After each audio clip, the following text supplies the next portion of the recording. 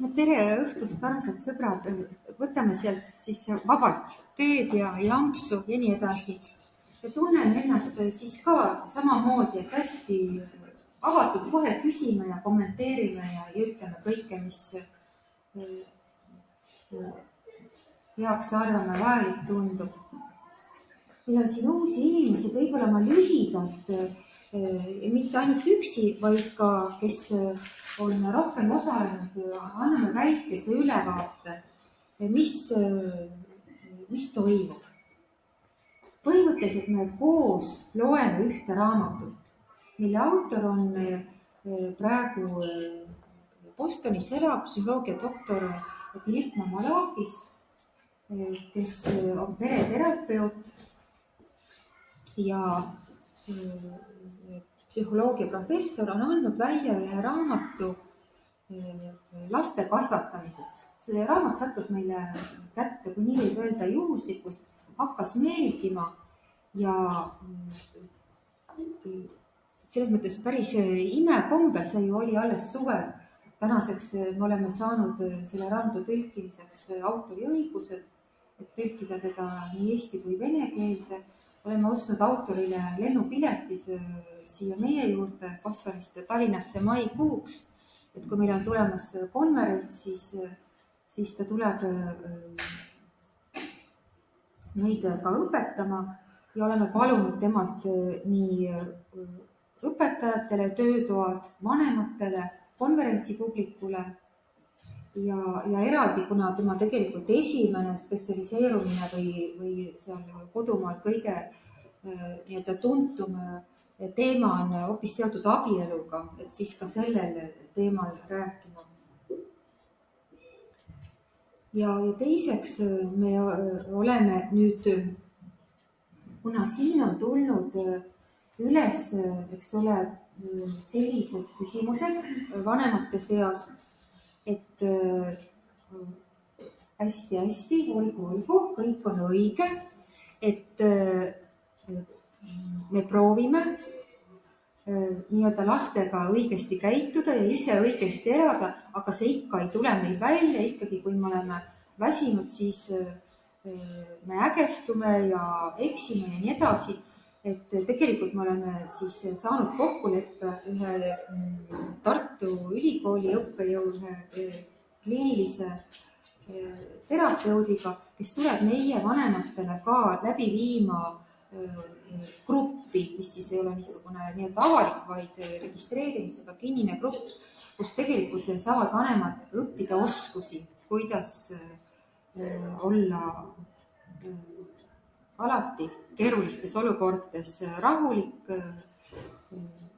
heatahtlik ja nii edasi. et see kõik põhineb sellele, et me oleme saanud aru, et, et üks hariduskeskkond, kui ta soovib oma lapsi aidata, eeskätt peab toetama perekonda ja siis, siis läheb siin see meie nii-öelda jäämäe tipuelu ehk igapäevane õppetöö ka hoopis lihtsamalt ja libedamalt. äkki me proovime meenutada veel sissejuhatuseks veidi mis võiksid olla selle raamatu põhiteesid, et me oleme jõudnud praegu umbes neljanda peatüki keskele ja jätkates umbes sellise regulaarsusega, nagu seni on olnud, kord või paar kuus, me tegelikult äh, õppeaasta lõpuks seda raamatut ei läbi. aga kuna meil on noh, ütleme, ei ole mingisugust suurt sihti silme ees olnud, siis me lihtsalt äh, jätkame ja üldiselt kõhutunne ütleb, et kui see raamat saab ükskord Äh, läbi võetud, siis me hakkame tegelikult otsast peale, sest ta on ikkagi niivõrd selline toetav, et eks igaüks ise tunneb äh, äh, seda noh, nii-öelda vajadust, aga, aga niikaua kui huvi on, siis kooli asi on sellist võimalust pakkuda. kas me suudame meenutada mingisugused põhiteesid üldse, mitte olulisuse ega ka nii-öelda järgnevuse alusel, vaid lihtsalt, mis praegu niiviisi meelde tuleb, mis, mis on tähtsad äh, järgneva mõistmiseks või, või üldse, mis on meelde jäänud ja mõjutanud? kas see vastamise reageerimise erinevus? jaa, aitäh. autor vastandab äh, äh, lastega suhtlemisel reageerimist ja vastamist, et reageerimine on see, mida me nii-öelda tavaliselt teeme, mida meie vanemad sageli on, on teinud, et mis sa istud või mis sa astud ja, ja see põhiliselt siis on mitte niivõrd lapsekeskne, aga tegelikult väljendab vanema seisundit. seda, et ma olen tüdinud või, või meeleheitel või, või väsinud või midagi sellist ja ei vasta lapse vajadusele, et selle fookuses ei ole laps ja ta ei ole tavaliselt nii-öelda kaalutletud või, või selle olukorra mõistmise äh, tulemusena, et need on äh, noh, nii-öelda see paha ja hea käitumine ja, ja autori äh, kõnepruugis on, et siis reageerimine on halb ja vastamine hea. Ja, ja noh, paradoks või on muidugi selles ka, et see reageerimine on niivõrd harjumuspärane ja, ja nii-öelda lihtne. aga vastamine nõuab väga suurt pingutust ja enesekasvatust. mis veel on olnud väga tähtis? mulle on jäänud see meelde, et kui, mida ma endale aeg-ajalt meelde tuletan, see, et lapsed on lapsed ja neil on õigus käituda selliselt, sellepärast nad on lapsed. aga mina olen täiskasvanu ja ei saa niimoodi käituda, et ma, ma ei ole nagu samal tasandil. See on väga oluline, see on väga oluline, et mõnikord me ootame, et lapsed äh, äh, käituksid äh, kuidagi teisiti siis, kui nad käituvad viisil, mis ongi lastele omane. nagu autor ütleb, children's stuff. kõik see niisugune noh, räägib, eks ole, et kui on korraga pildil, eks ole, ilus tapeet, vildikad ja kaheaastane, siis loomulikult, et, et laps ei tee midagi valesti, ta lihtsalt käitub äh, eakohaselt. et siin ei, ei ole mõtet nii-öelda reageerida ja teiseks sageli me jonnime ju ise ja käitume ise nagu lapsed. ta teeb suurt vahet lastel ja täiskasvanutel. aga hääkene küll, hakkame siis minema, et nii-öelda on siis see kontekst nagu on. me jäime viimati selle juurde, et et miks lapsed halvasti käituvad ja, ja autor muidugi ütleb kohe, et esiteks sellist asja nagu halb käitumine polegi olemas. ta võrdleb seda aevastamisega. ta ütleb nii, et mida te teete, kui te lähete õhtul lapsele head ööd soovima, kummatate tema kohale, et teda kallistada ja musi anda ja ta, eks ole, tahtmatult sellel hetkel aevastab ja pritsib teid üleni täis et missugune kõige kohasem vastamise viis on õrnalt naeratada ja õpetada teda kasutama taskurätikut. et täpselt sama äh, analoogia või täpselt sama olukord on igasuguse nii-öelda halva käitumise ilmingutega ehk siis õrn naeratus ja õpetus kasutama taskurätikut, mis, mis ta siis iganes sellel hetkel on. Ja, ja see, mida me peame halvaks äh, käitumiseks on tegelikult äh, nii-öelda äh, saatuse naeratus või nii-öelda üldse väga hea olukord, sellepärast et äh, sellistes olukordades lapsed õpivad kõige enam, nad õpivad kõige rohkem. Need on olukorrad, kus, kus nad on altid omandama seda, mida me kõige rohkem soovime, et nad omandaksid. ja selleks tuleb meil eeskätt teha mida? käituda nii, nagu me kogu südamest soovime, et nemad käituksid täiskasvanutena. et selleks siis tuleb mõelda sellele, missugust täiskasvanu elu me neile soovime, et nad on vastutustundlikud, kannatlikud, lahked, südikad, sellised inimesed, kes on õnnelikud, kes kes on teistele nii-öelda õnnistuseks ja lihtsalt, lihtsalt on siin, eks ole, väikse selle smile'iga. tuleb ise sellel hetkel nii käituda. ja me jäime kohta, kus siis nii-öelda, mida tavaliselt tuuakse halva käitumise põhjusteks, ongi, et ta lihtsalt tahab tähelepanu, ütlevad vanemad. ja autor siis selle küllaltki levinud tema mõistes müüdi purustab ja ütleb, et lapsed ei taha tähelepanu, vaid laps tahab suhet, ta tahab kontakti, ta tahab sidet. ja tegu on siis õigeusu autoriga ja kogu tema sellise õpetuse aluseks on ida kiriklik inimese käsitlus, mille järgi inimene on loodud kolmainu Jumala näo järgi ehk nii-öelda, kus Jumal kolmes isikus on, on suhtes. isegi võib öelda, et Jumal on, on suhted ja, ja, ja seetõttu inimene õpib suhetes, kasvab ja areneb suhetes ja vajab seda enam kui vett, leiba ja värsket õhku. see on suhet. palun, palun, palun niisiis. ühesõnaga, et kui me tabame ennast ütlemas, et äh, nii, et sa siin jonid või käitud halvasti, et sa tahad tähelepanu, siis, äh, siis äh, me oleme valel teel ja meil tuleb endale meenutada, et laps otsib suhet, otsib kontakti, sest ilma selleta ei ole võimalik elada, ei ole võimalik kasvada, ei ole võimalik olla. lapsed püüavad meiega pidevalt kontakti leida füüsilise läheduse kaudu, meiega aega veetes, meid tundma õppides ja lastes meil neid endid tundma õppida.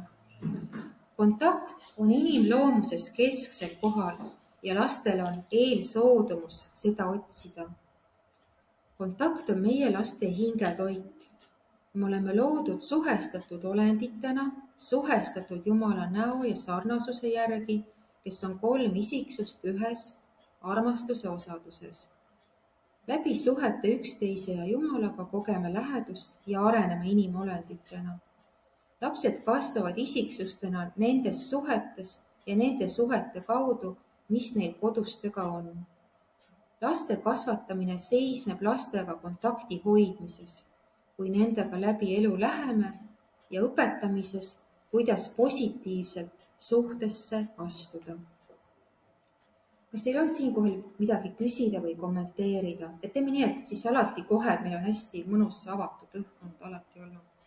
Et äh, tehke seda mõtlematult. lapsed otsivad kontakti igal võimalikul viisil. emme, vaata, mis ma joonistasin või issi ma oskan lennuk kirjutada, on näited püüdest konstruktiivselt ja positiivset kontakti leida. kui lapsed on õhevil, tahavad nad oma õhinat meiega jagada. kui nad on kurvad või haiget saanud, otsivad nad lohutust. Marraskil põlvele või küünarnukile puhumine parandab nende enesetunnet. see ongi kontakti jõud kui lapsed tunnevad üksindust või on meist mõnda aega eemal olnud, otsivad nad kontakti. see pole tähelepanu otsimine, see on loomulik inimlik läheduse ja ligioleku vajadus ja soov. kas see kõlab teile tuttavalt?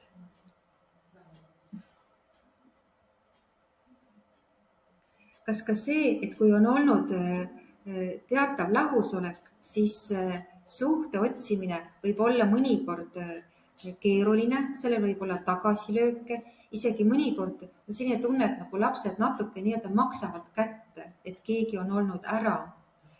ja, ja, ja igatahes on see intensiivne. et on äh, suhte, suhtevajadus. Ja kodus on see kordades kõrgem, aga ka koolis me tajume seda väga selgelt.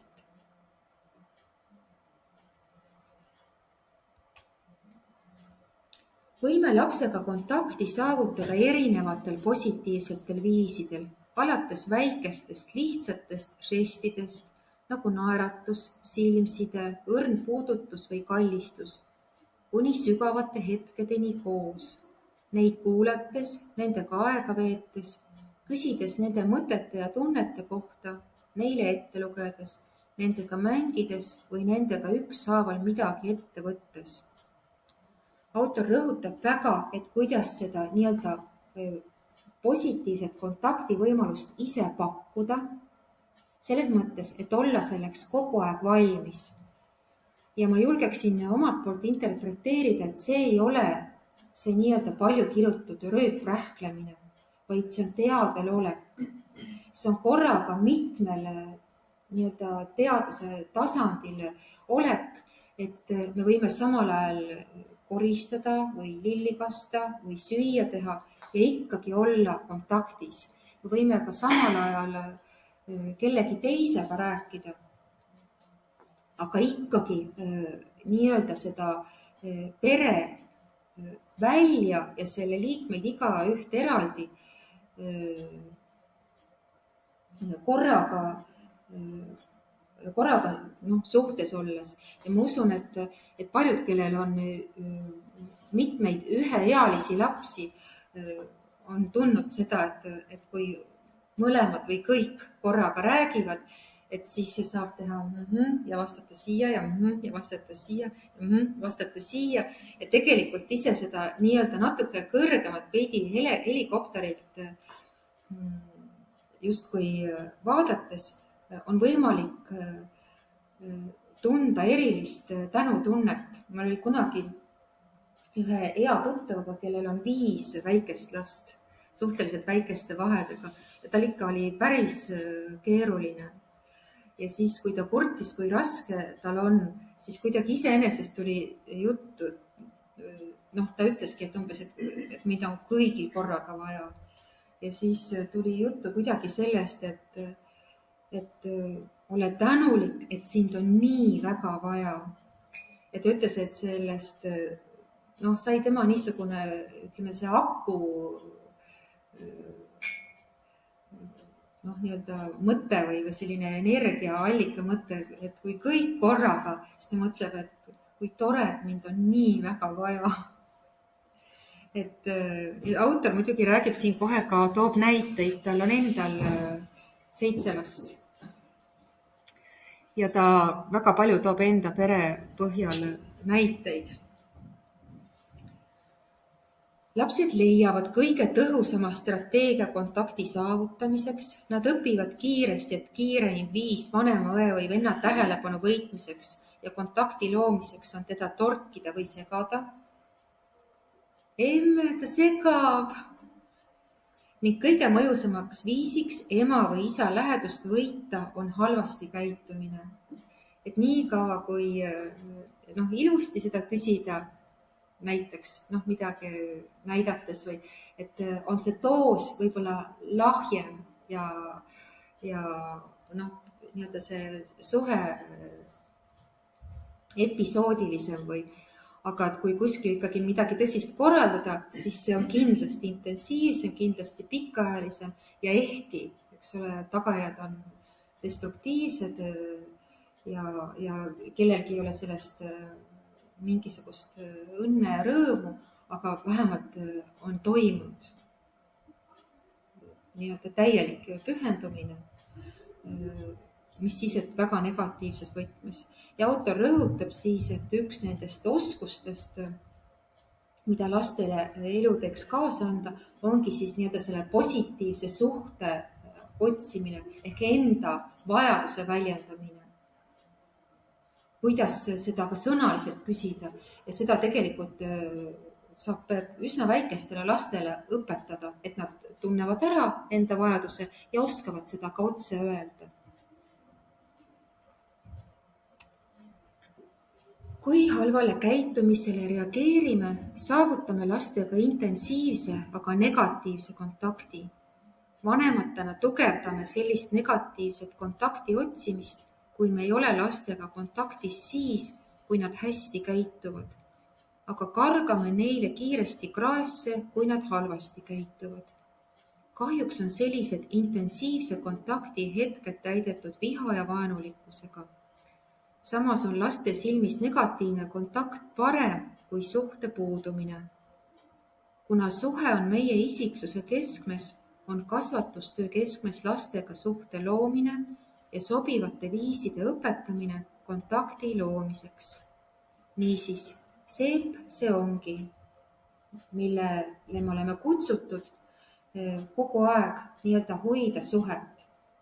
ja tegelikult siin saab ise teha hästi sellise teadliku eh, nii-öelda eh, režiimi vahetuse täiesti teadlikult, et ma äh, lähen nii-öelda sellelt tagajärgedele reageerimiselt üle äh, nii-öelda noh, võib-olla ennetamine või profülaktika ei ole õige, sest ma ju ei tegele sellega, et hoida ära mingisuguseid pahandusi, vaid äh, ma elan oma elu.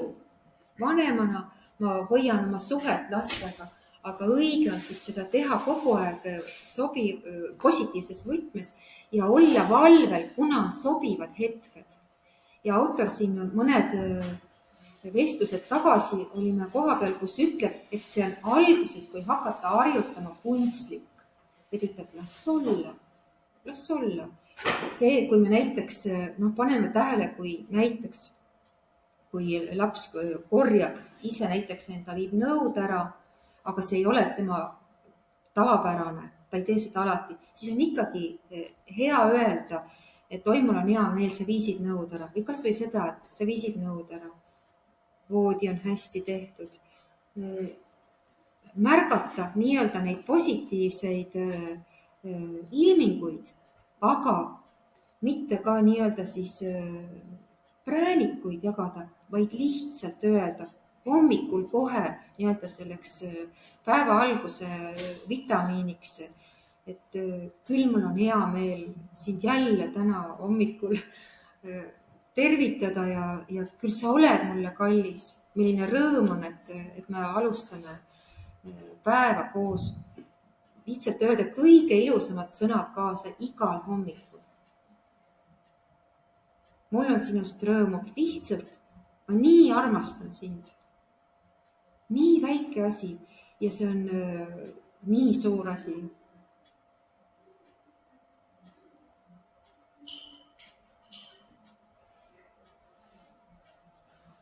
ja muidugi noh, nagu ta ütleb, eks ole, et, et äh, silmside või, või noh, näiteks nüüd, kui noh, eks see elu tööpäevadel tavaliselt on ju nii, et ühised hommikud, ühised kiired ja põgusad õhtud ja siis pikk eraldi veedetud päev. et, et iseäranis seal õhtul, aga miks ka mitte, kui lapsel juba on selle ees ootava päeva suhtes mingisugused kas hirmud või, või, või sellised ootused, väga palju kuulata väga-väga-väga tõhus on see, kui lihtsalt vaadata silma, hoida silmsidet ja lihtsalt ma kuulan. lapsed saavad väga-väga hästi sellest aru kui teda lihtsalt kuulatakse, ei olegi vaja kommenteerida või nõu anda. noh, võib-olla seal natuke lihtsalt huvi juurde tunda, mõni täpsustav küsimus.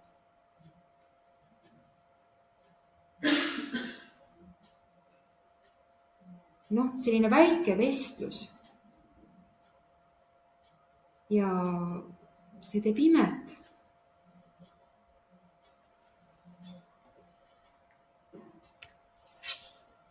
mu pojad otsivad kontakti nagu väikesed poisid.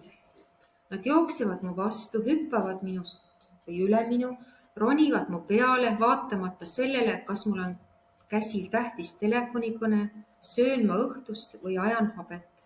Nad veel õpivad, kuidas küsida kontakti, kui nad minu vastu jooksevad või üle minu ronivad.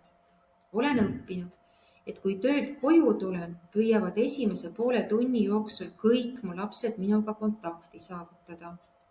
väljakutseks on see, et nad kõik tahavad seda teha üheaegselt. olen õppinud, et ei vaheta enne tööriideid koduriiete vastu, kui olen kõigi oma lastega kontakti loonud. kui meie pere noorim Aleksius kahene oli, tahtis ta kohe sülle, kui olin koju tulnud ja ärritus, kui püüdsin teda maha panna minu vastus oli rääkida vanemate lastega väiksemat süles hoides.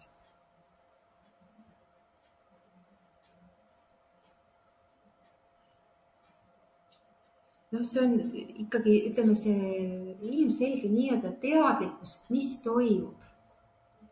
et, et kui kuskilt tulen, siis, siis juba tean, et, et kes mind ootab, kuidas ootab. ja, ja kui seda veel kord nii-öelda positiivselt ise lahkelt jagada, siis äh, toimub äh, üle, üleminek ja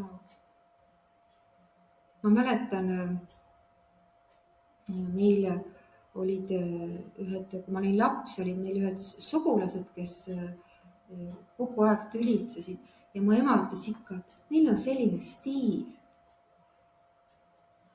et hea on nagu seda stiili teadlikult kujundada. et see oleks äh, helges, toetavas võtmes. sellepärast, et äh, hetk hetkelt, päev päevalt ikkagi kujuneb välja nii-öelda see stiil.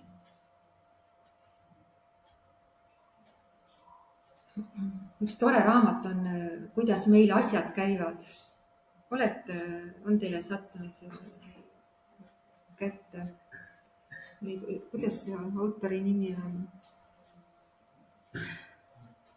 mul on väga piinlik, mul ei tule meelde, igatahes oma õpilastega lugesime ja kodus lugesime ka. See on väga tore raamat, ma ei tea, võib-olla ma räägin, mis ei vasta tõele, aga seda, kui me kuulsime lastekirjanduse keskuses, oli üks noor mees, kes jäi nii haigeks, et arstid andsid talle väga lühidalt elulootust ja siis ta kirjutas lihtsalt, et äh, ta lastele jääks mälestus, kuidas nad elasid. et nad saaksid seda lugeda juhul, kui võib-olla isa enam ei ole nendega, kirjutas raamatu, kuidas meil asjad käivad kirjutab seal nende pereelu argiolukordadest, vapustavalt, soe humoorikas, noh, meie perel üks lemmikraamatuid oli pikka aega ja selle autori läbi kõiki raama, uusi raamatuid ma ostan lihtsalt sellepärast, et ja, ja need on hoopis teises võtmes, aga noh, väga-väga meeldivad. Aga see on väga tähtis küsimus, kuidas meil asjad käivad.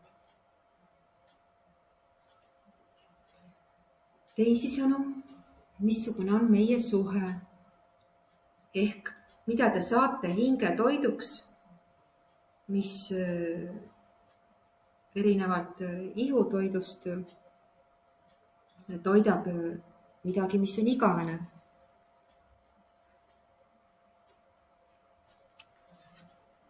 Kui pidin Aleksiuse siiski maha panema, et riideid vahetada, naeratasin, hoidsin silmsidet ja laulsin talle, ise samal ajal koduriideid selga pannes tundsin end kui laste saatejuht.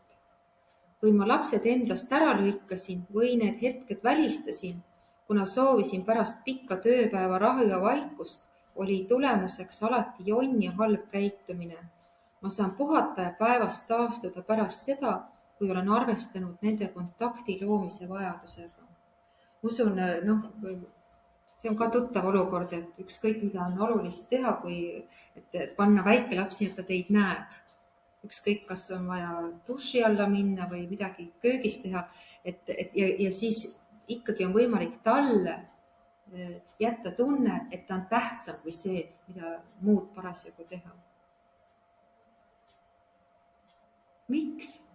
Sellepärast, et tal on seda vaja rohkem kui midagi muud.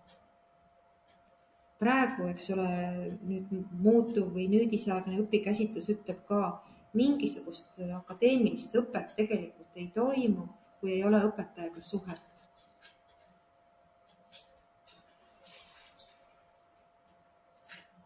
ja meie koolilapsed, kes on sellega niivõrd harjunud, peavad seda niivõrd iseenesestmõistetavaks. Mäletan, ükskord tuli meil üks õpetaja, kes kandideeris tööle andma nii-öelda seda proovitundi. Ja erakordselt meisterlikult oli tund ette valmistatud, väga särav õpetaja hakkas hooga pihta, lapsed nagu ei käivitu niiviisi noh, küllaltki apaatselt, kes üldse ei ole apaatsed lapsed. Ja siis üks tõstis käe ja ütles, sa pole üldse meie nimesid küsinud. sind üldse ei huvita, kes me oleme ja siis see õpetaja muidugi ütles, et oi, muidugi, et nii, palun, aga et nad, nad ei tule üldse kaasa, kui ei ole seda, et hei, me oleme isiksused, tunne huvi. Ja siis me tunneme huvi, mis, mis sul pakkuda on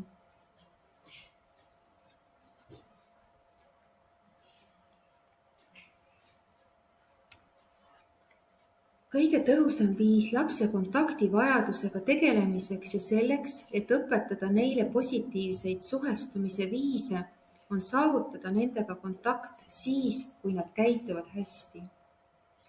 lastega kontaktis olemine aitab neil saavutada pikaajalisi eesmärke. see ühendus on keskse tähtsusega selleks, et anda lastele edasi meie väärtusi ja voorusi lapsed võtavad eeskujuks meie käitumise ja maneerid ning võtavad meie väärtused omaks seda veendunumalt, mida lähedasemad nad meile on. Nad õpivad looma kontakti teiste ja ümbritseva maailmaga selle kaudu, kuidas nad meiega kontakti leiavad. lapsevanemaks kasvamine on selle õppimine, kuidas oma lastega kontakti hoida kogu aeg, samal ajal kui täidame oma igapäevaseid kohuseid siin on väga selge ülesande püstitus, väga selge definitsioon, mis on meie ülesanne, mida me tegelikult õpime, et me õpime hoidma äh, suhet. noh, sageli abielu kohta öeldakse, et äh, või üldse, et su, iga suhe on töö. võib ka nii nimetada. niisiis et hoi-, et aidata last, hoia suhet. ja ütleme, see niisugune suhte defitsiit, ta mõnda aega, kui ütleme, see aku on hästi täis, hästi laetud, siis mõnda aega, näiteks kui on mingi tõesti kiire või keeruline aeg, mõnda aega see kannab inertsist või, või ütleme, ei ole ei ole probleemi. aga siis ikkagi tekib see niisugune mingisugune nähtamatu nabanöör või energianiit, kui see katkeb, siis noh, mõnikord jääb laps haigeks lihtsalt sellepärast, et kui ta on harjunud hellust saama, hoolitsust ravina, aga, aga siis ka seda, mida ta intensiivselt vajab või siis kes halvasti käituma. aga ütleme, see nii-öelda see halvasti tähelepanu saamine sellest on väga raske ka täiskasvanuna ümber õppida. ja siis juba enda tulevastes lähisuhetes või kasvõi töökollektiivis, kui tajuda keskkonda äh, vaenulikuna ja, ja suhteid äh, konfliktsetena, siis sellest saab üks äh, keeruline jada alguse et sageli meiesuguste koolide kohta öeldakse, et no need on sellised kasvuhooned ja siin lapsed üldse ei õpi džungliseadusi enda eest võitlema ja elu on tegelikult nii karm, et siin ainult hellitatakse ära. aga tegelikult lapsed õpivad siin just vastupidi tugevateks, sellepärast et headusest suuremat tugevust ei ole ja nad õpivad ise keskkonda looma positiivselt. Nende enda Äh, hoiakud, nende, sest nende kogemus ütleb, et suhted on head, keskkonnad on äh, positiivsed ja see on neil niivõrd selge ja kui praegu kuulda, eks ole, äh, tööandjate juttu, ei otsita ju spetsialiste eeskätt, vaid otsitakse suhtujaid, hoiakutega inimesi. see, et sul on positiivsed, konstruktiivsed õppimisvõimelised äh, hoiakud. käisime äh, hiljuti kol-, kolleegidega vaikuseminutite konverentsil ja seal oli äh, väga huvitavad sellised poppide elualade esindajad rääkisid, kuidas nemad mindfulnessi siis praktiseerivad oma ettevõtetes ja seal ühe äh, kuulsa nii-öelda siis veebifirma juht rääkis, kui suur kuri on karjas, siis need suure potentsiaaliga tippspetsialistid, kes ennast sotsiopaatidena üleval peavad ja siis kuidas neile nii-öelda poolvägisi siis mindfulnessi tehnikaid õpetatakse ja siis publiku seast tuli küsimus, et, et kuidas sellega läheb ja ta ütles väga keeruline, väga raske, tohutult siplevad aga, aga et, et muud valikut ei ole. ja ta noh, et, et just nii-öelda suure potentsiaaliga tippspetsialistid õpetatakse siis eh, suhtuma töösse ja teistesse. sest muidu laguneb kõik laiali. Ja noh, paljud, mitmed tuttavad tööandjad, et parem ma võtan täiesti nagu puudulike oskustega positiivse ellusuhtumisega inimese. natuke investeerin aega ja õpetust ja aga noh, kust need asjad alguse saavad mustrid.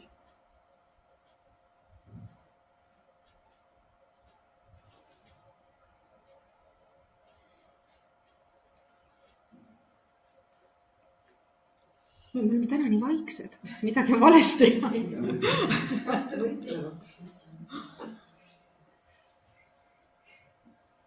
põhiline, et me sellist kollektiivset meeleheidet siin teeme kohale ei mana, et seda siin autor kordab ka nagu mantrat, et noh, et meil tekibki kõigil tunne, eks ole, nende igasuguste kasvatusõpikute ja ka, et noh, et ma nagu olen täitsa ebaõnnestunud ja ta ütleb, et see on normaalne tunne ja tema ise tunneb seda kogu aeg.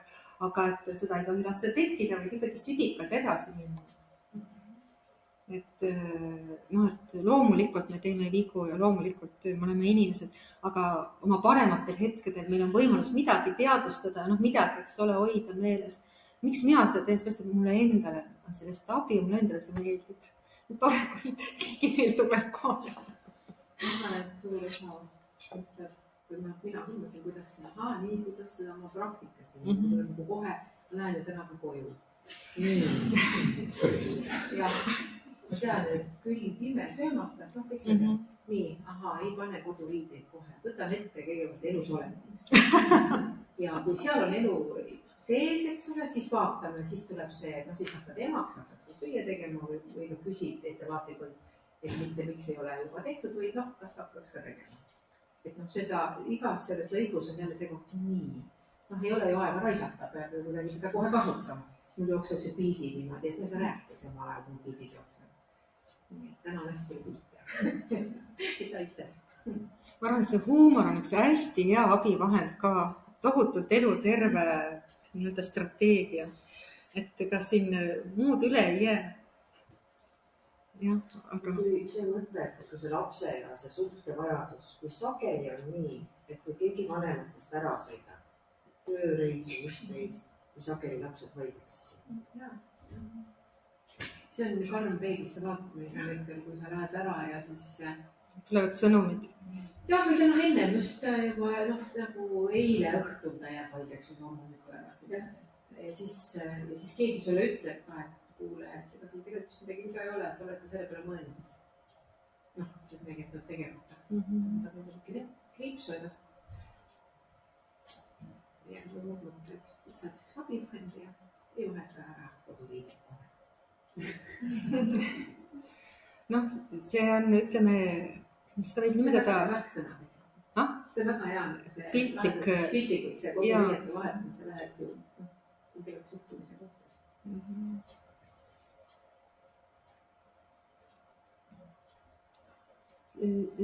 Noh, seda, seda võib kõike nimetada nii-öelda askeesiks praegusel nii-öelda pühadeelsel paastu ajal on sellele hea mõelda, et noh, meil oli eelmine kord sellest juttu, noh, et aga mina olen ju ka väsinud ja mul on ka olnud raske päev selja taga. aga et see on see, ütleme, noh, mis siis selles noh, nii-öelda jumalikus suhtes mis seda iseloomustab, on nii, niisugune genootiline ennast tühjendav armastus. et armastus kohver, ma ei mäleta, kas ma rääkisin sellest mm -hmm. ka, jah mm. -hmm. et, et ega seal muud ei, ei olegi, kui äh, mõelda teisele või, või teha teisele ja siis äh, ootamatult selgub, et võitjana väljun ma ise sealhulgas.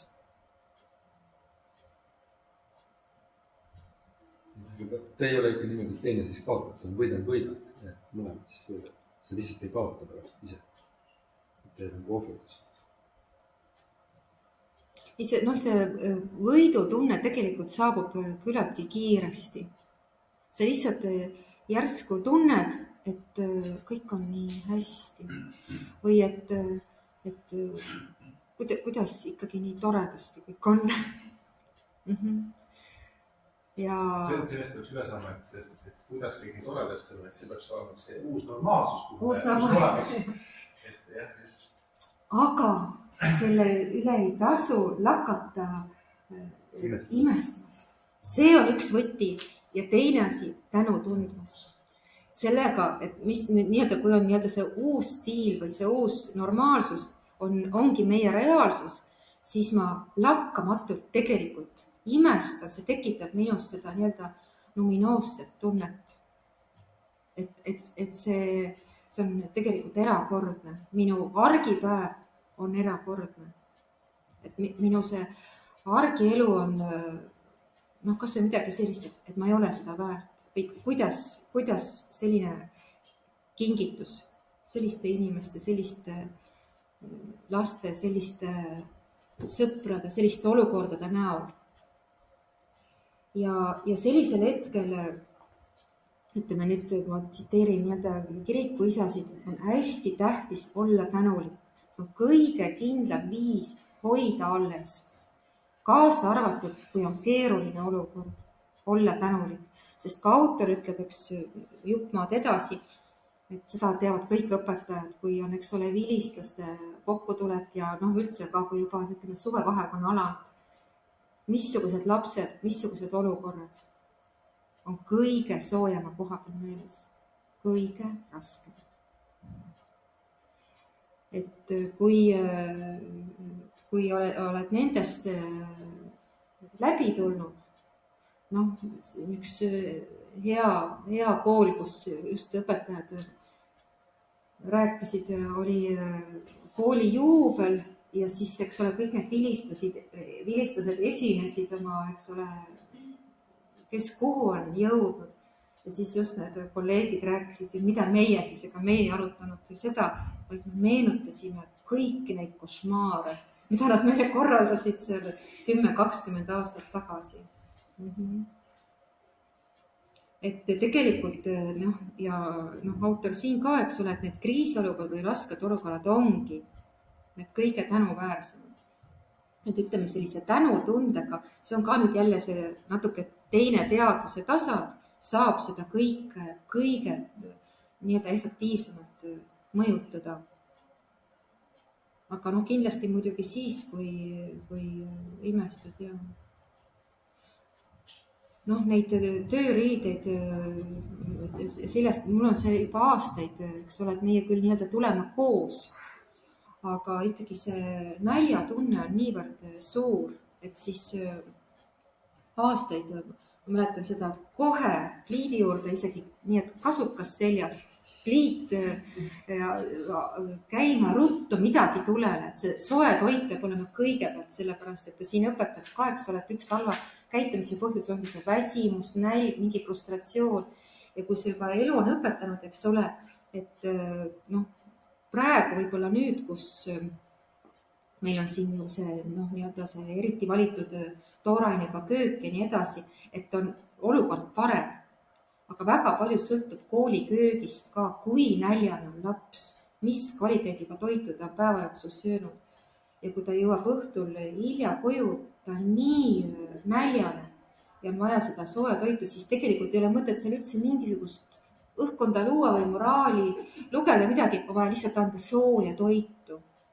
et sul peab olema ette valmis mõeldud, et noh, ikkagi eh, kiiresti, mis see on ja siis, alles siis, kui teised söövad, võtan siis selle nii-öelda kasuka seljast ära. Sest eh, noh, milleks seal nii-öelda ei ole mõtet üldse laengut üles võtta, kui asi on selles, et kõhud on tühjad. ja kasvueas lapsed ja nii edasi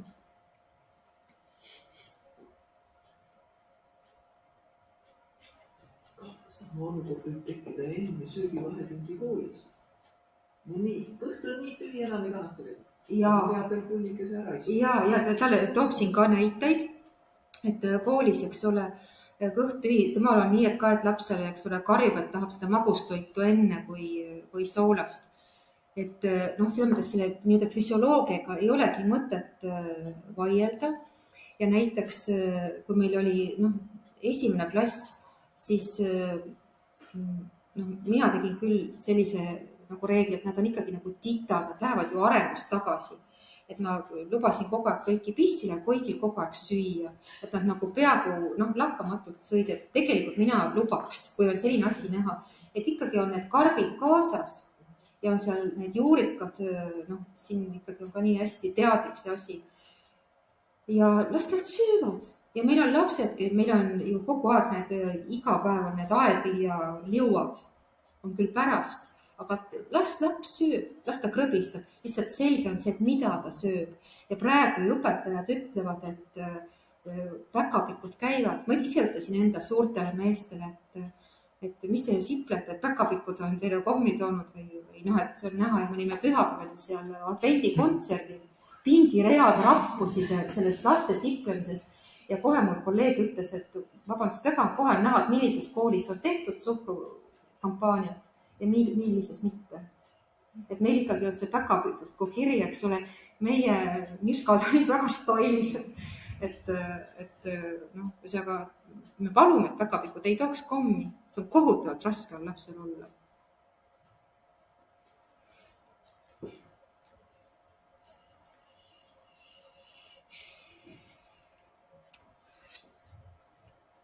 lapsed käituvad paremini, kui tunnevad, et nad on meiega ühenduses.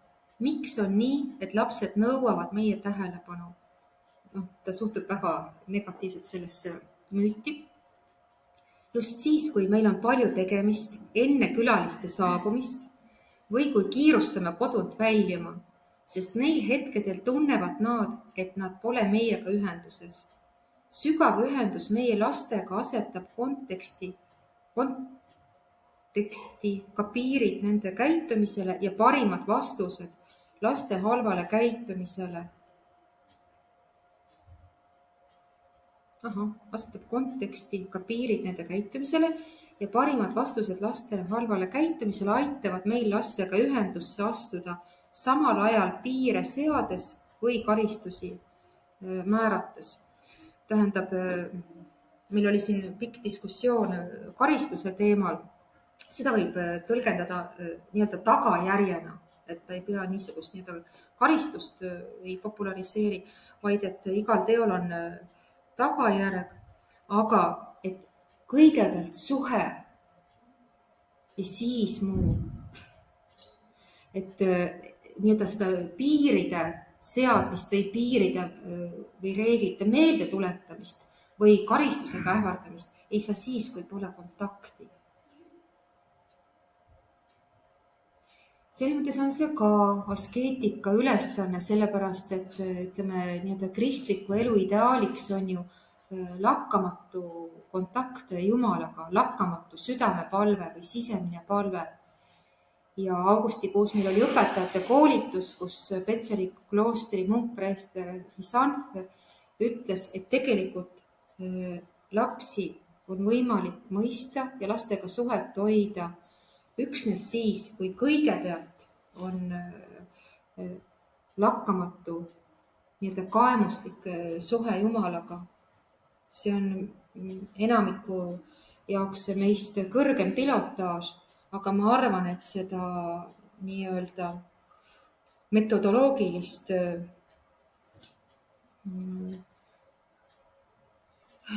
väljavaadet tasub otsida sealt suunast selles mõttes, et kui me saame enda meele häälestatuks ise sisimas, siis on meil võimalik hoida ka lapsega suhet. jällegi on nii, et et justkui tehes midagi enda jaoks väga keerulist, väljud ise võitjana.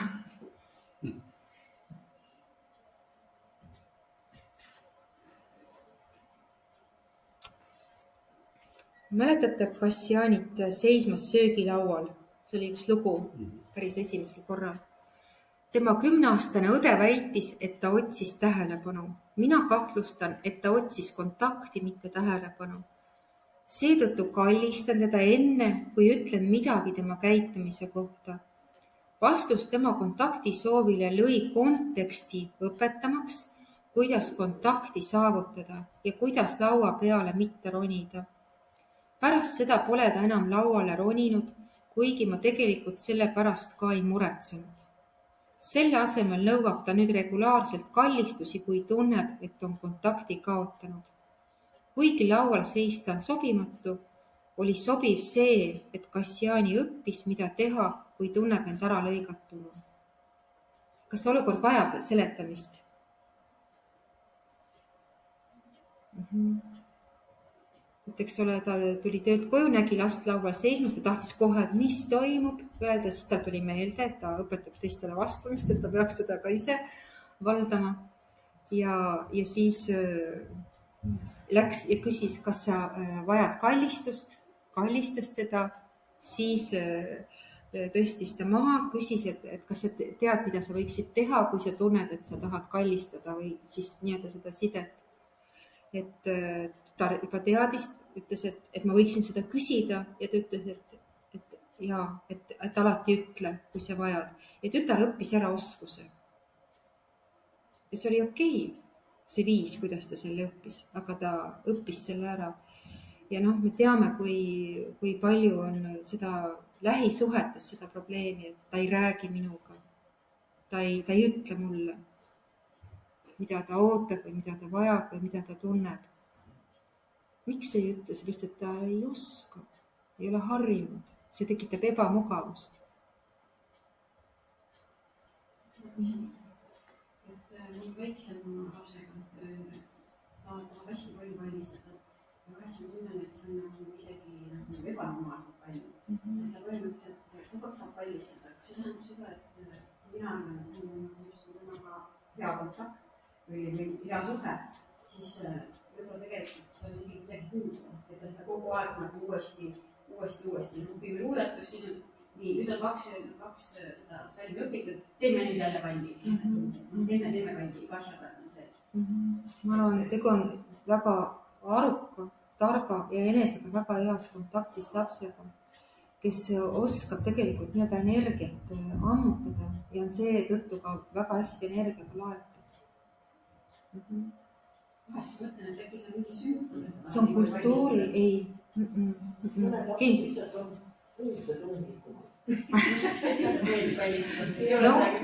noh, on üks tore raamat Armastuse seitse keelt või midagi, viis keelt, viis keelt, jah. et seal, see on ka soovituslik kirjandus, et kuidas igal inimesel on oma viis, eks ole, et kõik vajavad armastust, aga vajatakse ka võimalust väljendada ja, ja mida ma siis teen, kui mulle ka see noh, nii-öelda endale sisse ära ei mahu. et äh, kui ma nüüd õigesti suudan meenutada, on need, kelle jaoks on millegi kinkimine. Ja kui hakkad vaatama, on tõesti inimesed, kes kogu aeg soovivad midagi endast ära anda, nii-öelda need helde maritütred, nad kogu aeg jagavad oma asju või, või kingivad midagi, nende jaoks on see hästi lihtne, nii-öelda mitte elada küüned enda poole. see on nende viis, siis on nii-öelda verbaalsed inimesed, kes kellel on väga lihtne öelda ilusaid sõnu teistele.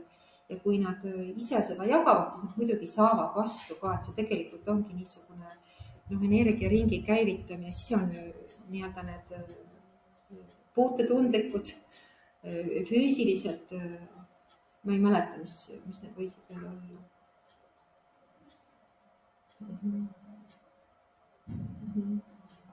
et see on igatahes tore raamat ja aitab meil ka näiteks kasvõi õpetajatena seda lugedes oma klassi äh, paremini mõista. noh, see on nii nagu ütleme, see nii-öelda multiintelligentsus, et kes on äh, kinesteetikud ja kes on nägemismäluga ja, ja kes kuulmismäluga ja, ja nii edasi. et, et üldse tajuda, aga inimene ise peab teadma, et kui ta tunneb, et ta on nagu selles äh, nii-öelda energiavaeguses, et ta peab ise teadma, et noh, nagu me räägime praegu eneseteadlikust õppijast, et inimene peab tundma enda õpistiile, enda õpioskusi, mida arendada, mida, mis on tema tugevad küljed ja nii edasi, et tegelikult noh, ütleme seda enda kui äh, suhtes olija ja, ja noh, ütleme noh, võime ka siin töökollektiivis ikkagi nii-öelda armastaja, meie professionaalne võimekus, armastaja tegelikult nagu seda stiili eh, peame ka tundma ja, ja näiteks saama aru, kui see ei vasta meie klassi keskmisele nii-öelda või enam levinud ootusele. ise tegin sellise asja läbi, mulle hästi meeldib selline ellusuhtumine, et et noh, vaatame, kuidas kujuneb ja mis kujuneb iseenesest, kujuneb kõige paremini ja, ja et, et eks näis ja et protsessi käigus ja siis, kui saad aru, et poistele meeldib väga selge, konkreetne jutt, kuidas asjad täpselt on ja olema hakkavad ja olema saavad, siis nagu kohandades ennast nii-öelda selle endale oluliste stiilile, tegelikult jällegi võidad ise niivõrd palju, omandad uue oskuse. ja sellepärast on neid asju väga tähtis teadvustada. aga kindlasti ei ole midagi puudu, ma arvan, et ta lihtsalt äh, on selles mõttes äh, andekas küsija. Selle küsija, mida ta vajab. kodus nii palju et küsisin ta käest, kas sa teed saali nii palju. jaa, jaa. ja siis, siis ta ütles, et ja, ja, ja siis kirjutas kõige rohkem kalistab vist ikka liivitada ja siis mõtlesin, et ahah, ahah, ta on lihtsalt nii hea direktor meil. no ütleme nii, et neid, vabandust, püsikundasid on meil nagu terve armaada, aga, aga see on ju selles mõttes näiteks, ma olen ise teinud endale reegli, et ma pean iga päev vähemalt kahe lapsega lihtsalt korraks natuke rääkima, et kuidas tal läheb. sest muidu ma tunnen, et see päev ei ole õnnestunud ükskõik, kes nii-öelda ette satub, vabandust väga, aga et noh, mitte nüüd, et noh, et kellega mingi mure, mine küsid, kuidas sul läheb või midagi sellist, vaid lihtsalt kellegi käest. ja siis noh, tegelikult see on ikkagi vastastikune. Sest siin need asjad ei, ei toimi, kui ei ole suhet. kui, kui meil siin ei ole oma lastega suhet, siis sellel koolil ei ole mõtet. Mustamäel on või noh, üldse on igast vabu õhlas kohta tulnud. ah? kaua, sulle tundub, et seda juba kestnud on, et pannud siis ja ta on ka kõva välistaja ikka kogu aeg olnud, ütleme nii. nii mitu aastat ei ei, ei, ei, ei, minu arust kõik, kõik on väga hästi. ketsakas on nagu mõeldud seda. ei, ma lihtsalt mõtlesin, et miimika peale, et kes, kui meil on terve see püsikunded seal kõik niimoodi reas ja ei, siin on, ei, siin on, see käib mööda minnes ja, ja, ja. Ja nad ja siin on palju, meil on ju ikkagi minu arust kõiki õpetajaid kallistatakse ja nad selles mõttes on nagu suhteliselt sõltumatud kallistajad, et ega nad ei oota, et sa noh, nagu lõpetaksid mingisuguse töise tegevuse, mis sul parasjagu pooleli on. et nad käivad ja kallistavad ära ja, ja, ja, ja siis on neid, kes on, kingivad kaardikesi. täna hommikul oli noh, imeline kaardike laua peal ja, ja sellised noh, Need on need kingituste keelega. täpselt, täpselt. mina koolis käies märkasin, kuidas kaks sellist tüdrukut ronisid mööda seda kehalise Mhm. õpetajat istungist. Mhm, ja nad olid nagu oravad selles istungis hädas, siis tuli teine veel, ronis teiselt poolt Mhm. mm -hmm. see vapper. ja need, ma arvan, et need olid mingi teise või kolmanda klassi õpetaja Ristul on endale väiksed õed ja vennad, et ta nagu suhtub sellesse stoilise rahuga. aga noh, aga ta nagu tund oli positiivne tund, see oli mingi see kultuurifestivali päev, ta oli juba hädas, siis ta siis tõstis neid oma nagu tähendab, selles mõttes see läheb üle, et see läheb üle ja siis ikkagi on ju nii, et tuleb ju vanus, kus tegelikult on nii, et siin on piir.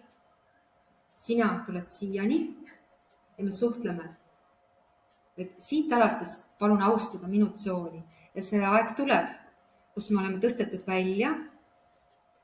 ja, ja see suhe sõltub sellest, kui palju me respekteerime seda lapse vajadust minu tsoon, minu nii-öelda ruum ja seisadki seal piiril ja, ja aktsepteerid ja respekteerid. Kuidas? mitte alati nii, ärge lootke, kaks minu vanemat poissi, üks on kakskümmend kaks, teine kakskümmend neli. ei mingit tsooni ei ole. vabad, vabad soomlased. ka ei ole, siiamaani kallistavad ja kuidas see aa, no ma võin öelda, et see tuleb tagasi, et see ikkagi käib. see lihtsalt peab vist rõõmustama, sest teised minu sõbrannad olid lausa kadestavad mm -hmm.. jah, mitte kadestavad, vaid mm -hmm. kadestavad, ja, ja, ja, ja. selline läheduse vajadus või noh, selles mõttes, et see on kõik, kaasa kannatab seal, on nagu pikemalt, on tihti võib-olla see, et see aku laadimine selleks, et edasi, kui ta paneb, et tal oleks pagas tugev all, ei vaja pärast mingil muul moel toetamist ja laadimine ära, sest see on tarkus. Tunned siis rõõmu mm -hmm. selle üle, et see on niisugune võimalus, mitte miljon muud varianti, kuidas peaks toetama, aitama ja noh, võib-olla sellistel inimestel seisab tuleviku sees endil väga palju energiat jagada mm. -hmm. et seda ka kuidagi niiviisi võib-olla teadvustamatul kujul äh, akumuleeritakse mm. -hmm.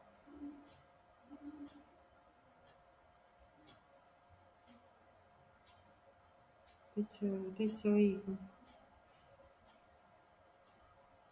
aga noh, jah, kindel on see, et ja noh, ma mäletan ise lapsena seda, kuidas oli tähtis tunda mõnede täiskasvanute lõhna, et see tegelikult, ma ei tea, kas teil on meeles ja, ja, ja sealsamal käisime Rajaleidja konverentsil, seal rääkis siinsamas kõrval on laste vaimse tervise keskuse psühhiaater Anne Kleinberg, rääkis enda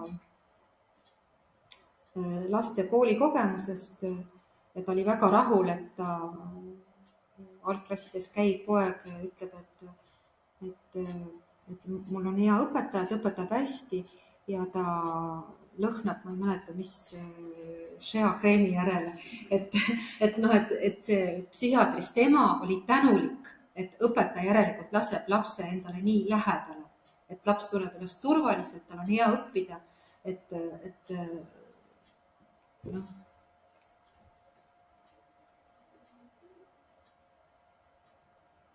Need on asjad, mida me noh, tahame nagu ära lõigata võib-olla, aga lihtsalt me jääme väga palju, jäävad lapsed vaesemaks.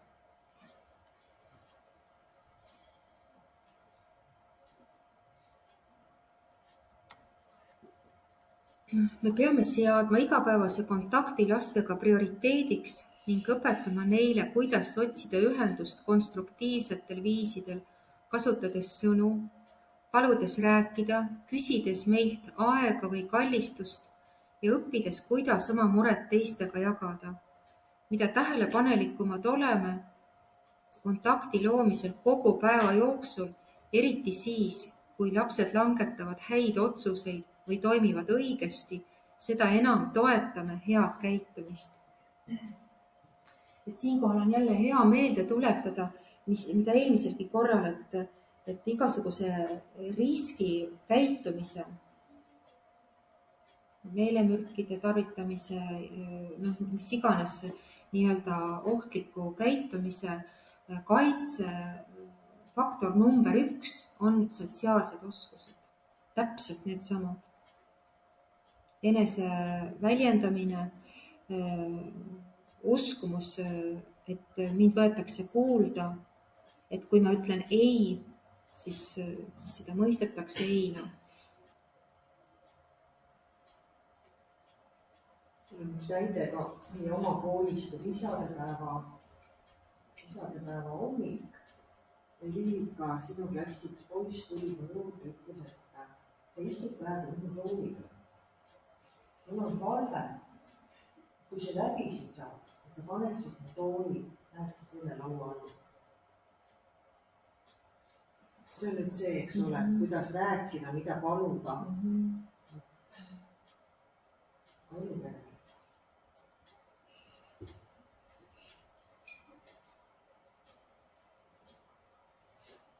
päris viisakalt Mm -hmm, mm -hmm. aga et see on hästi-hästi. hästi väärikas, hästi mm -hmm. noh, ta hoiab, see on mm -hmm. tema, tema tool, tema laul. ma palun, et sa paneksid selle sinna mm. -hmm. aga noh, ei olnud ka ju seda, eks ole, et äkki sa võtad teise tooli või et no, ei istu, et selles mõttes noh, super. praegu minu pool. kui sa lõpetad, siis palun mm. -hmm. mõtle, millise õige sa ei pääse jaa, aga ta, teda, eks ole, et ta julges seda öelda, ta, see oli talle oluline, see on see sotsiaalne mm, -hmm. väga tugev sotsiaalne oskus mm. -hmm.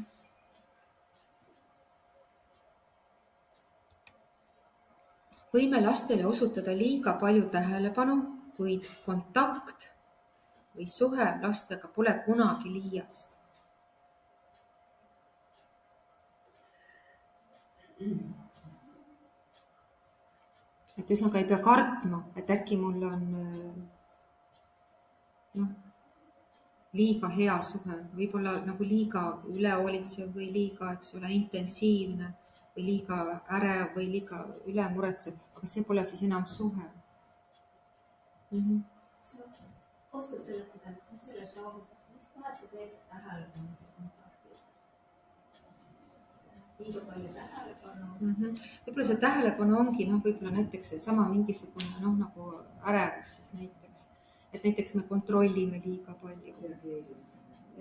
noh, reageerimine. Või siis, et, et noh, tahame nii-öelda noh, sõltub ka lapse vanusest nii-öelda noh, nüanssideni näiteks olla millegagi kursis või, või, või anda mingisuguseid noh, soovitusi. Või siis näiteks noh, liiga noh, kas imetleda või noh, või, või ka noh, ütleme liiga palju lapsest kas ära teha või, või liiga palju noh, nii-öelda turvata tema mingisugust seda elu või siis näiteks, et ma loobun noh, üldse liiga palju sellest, et noh, siis nüüd noh, nii-öelda elada tema elu. turvamine ei ole ka kontakt mm, -hmm. võib olla tõesti mm -hmm. kontaktivaba. ta ütlebki seda, et see on nagu halb. halb on see noh, ja noh, siin meil ka, eks ole ju nii-öelda see ülehoolitus on üks väärkohtlemise liik.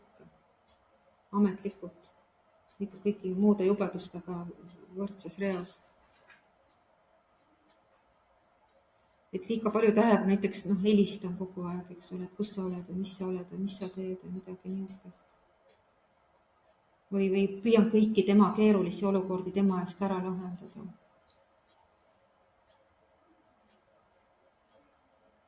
see ei ole suhe.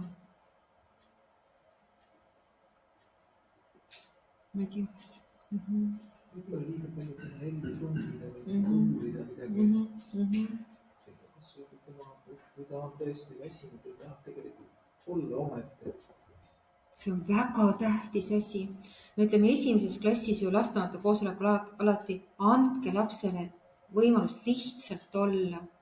iga laps peab saama lihtsalt olla. ja, ja praegu noh, meil need kõige suuremad eh, arenguvestlused just käivad, ikka kuuleme, et lapsed eh, noh, siin meil juba sellised väga cool'id kujud, noh, mängivad legodega. jumal tänatud. kui laps mängib legodega, see on, see on pidu, pidu meie tänavas. andku aga. see on noh, et midagi sellist, hoiangi ennast eemal, järelikult on kõik väga hästi. kui laps mängib oma asjadega, mitte telefoni või puldiga, siis järelikult on kõik väga-väga hästi kui ehitab midagi, loob, joonistab, nii-öelda elab oma seda lapse elu, järelikult on kõik paigas. rahu. käib siit mõte edasi, et kas võib ka see vahe olla, et kontakt on see, kui ta ise tuleb kontakti, eks ju.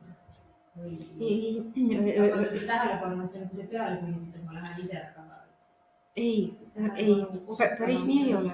näiteks seda head kontakti või head suhet me saame selles mõttes nagu ise selles mõttes initsieerida. näiteks, et noh, nii-öelda nagu ette anda või enne, kui ta hakkab ka küsima veidi, näiteks noh, pannes tähele mingisuguseid häid asju, lihtsalt nii-öelda nagu neid veidi alla joonides, näiteks, et noh, üks näiteks seal õdedest-vendadest midagi palub teisel teha või tahab tema asja ja teine on lahke, siis on alati nagu ikkagi hea öelda. nii tore, et te olete nii lahked üksteisega. mul on nii hea meel, et noh, olete nii abivalmid, nagu märkida ära neid noh, mingisuguseid toredaid, kõiki toredaid ilminguid, siis kui ta nii-öelda kasutab neid oskusi, mis teda kindlasti tulevikus aitavad. kui ta on kannatlik, kui ta on heatahtlik, kui ta on noh, rõõmus või ta millestki kuidagi ennast nii-öelda ületas, siis sinna anda niisugune noh, nagu väike tähelepanu. ja noh, või näiteks see, et noh, elame seal oma elu, eks ole, et askeldame, käin mööda, teen pai või võtan ümbert kinni või noh, näiteks koolis mõnikord teen lihtsalt niimoodi, tõmban üle nina kellelgi. noh, kohe on kõik nii toredam. et, et noh, väike asi, aga see on märk sellest, et meie vahel on kõik hästi.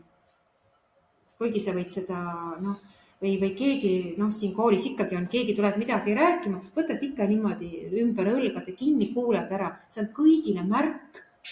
meil on kõik hästi. ja noh, selles mõttes nagu noh, on see suhe olemas et ikkagi jällegi kõik sõltub enda seisundist, et kui ma teen seda nii-öelda sellise helge, rahuliku, sooja kiirgusega, siis on see suhe. kui ma teen seda kuidagi kontrollivalt või pinevalt või närviliselt, siis on see mingisugune nii-öelda see halb tähelepanu, mis võrdub reageerimisega. kõik sõltub ikkagi minu enda sellest meeleolukorrast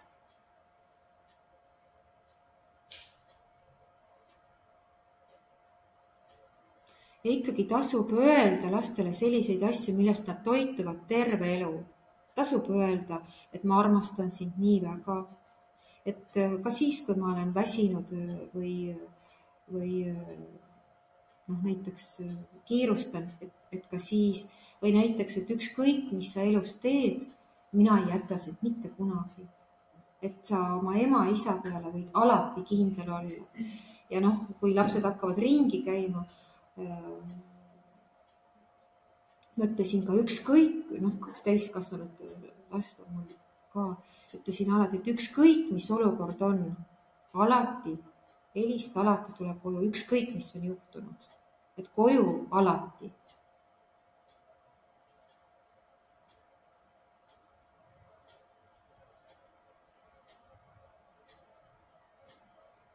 seda, noh, me mõtleme, et nad teavad, aga tegelikult on vaja seda ka otse öelda.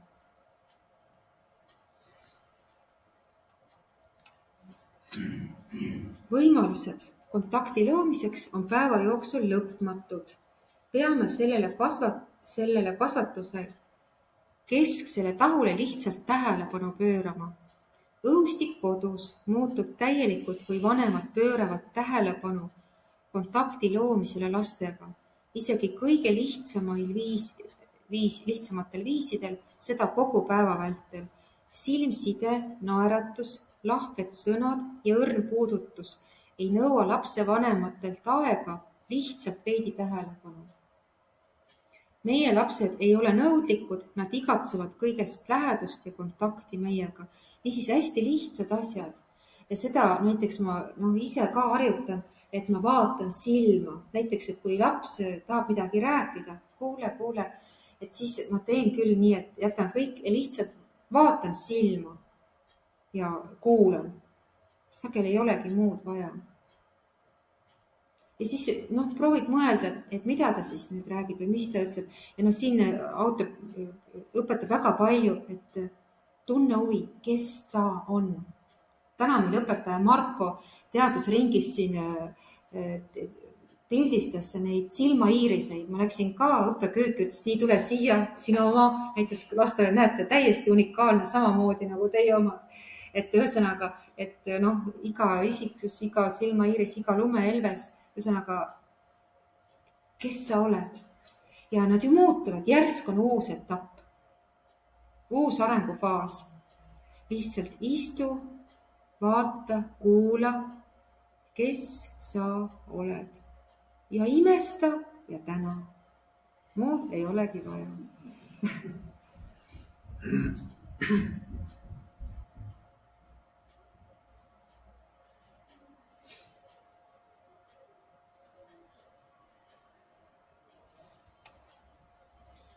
kodutööde tegemine ei pea tingimata tähendama ühenduse kaotamist lastega. Lapsed kaotavad kergesti kontakti meiega, kui oleme hõivatud isegi kui lapsed võivad põhjustada köögis kaose, võime luua kontakti, hoides lapsed enda läheduses, lastes neil osaleda kõiges söögi tegemisest kuni nõude pesemise ja kuivatamiseni. me peame õppima, kuidas lastega kontakti saavutada läbi silmside, lihtsa vestluse või selle kaudu, et hoiame nad enda ligi kõigi tegemiste ja ülesannete keskel, mis meie päeva täidavad et elu ei muutuks tegemata asjade jadaks. kui niidate muru, riisute lehti või lükkate lund, võtke lapsed seltsi, et nad saaksid mänguniiduki väikeste rehade või labidatega sama teha.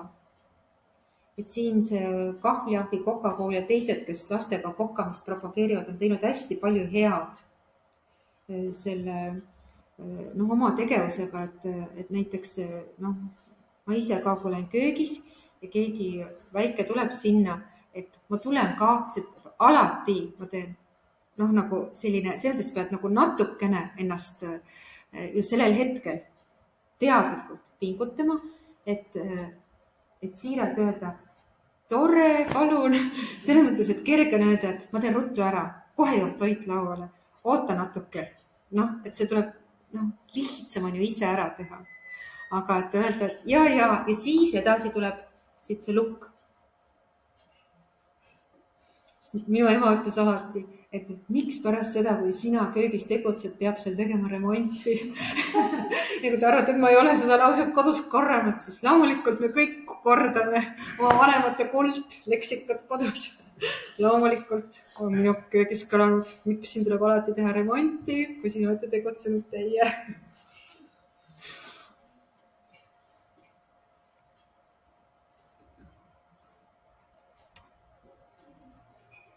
Me ei pea pidevalt laste meelt lahutama, selles on üldiselt see praegune ajastu hästi tugev. kuhu me täna läheme, mis me teeme täna, kõik need sünnipäevad ja eks ole, et isegi noh, teadus, teater, see on, eks ole, muuseumid, kõik on nii-öelda ja isegi teaduskonverentsid on võtnud niisuguse show formaadi. ma ei tea, miks haritud inimesed istuvad, miks peab tegema show'd, kõik on tulnud vabal tahtel õppima et äh, ühesõnaga, et see suhe ei ole meelelahutus.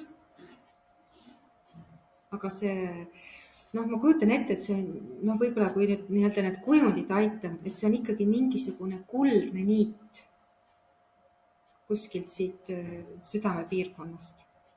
et nagu mingisugune telefoniliin, et see on nagu kogu aeg nii-öelda online'is ja ei olegi üldse palju sõnu vaja või mingisuguseid erilisi tegusid. Vaid niisugune lakkamatu suhtes olek. noh, ütleme siis äh, kristliku õpetuse järgi inimene selleks ongi loodud, et teisiti ta ei funktsioneerigi inimesena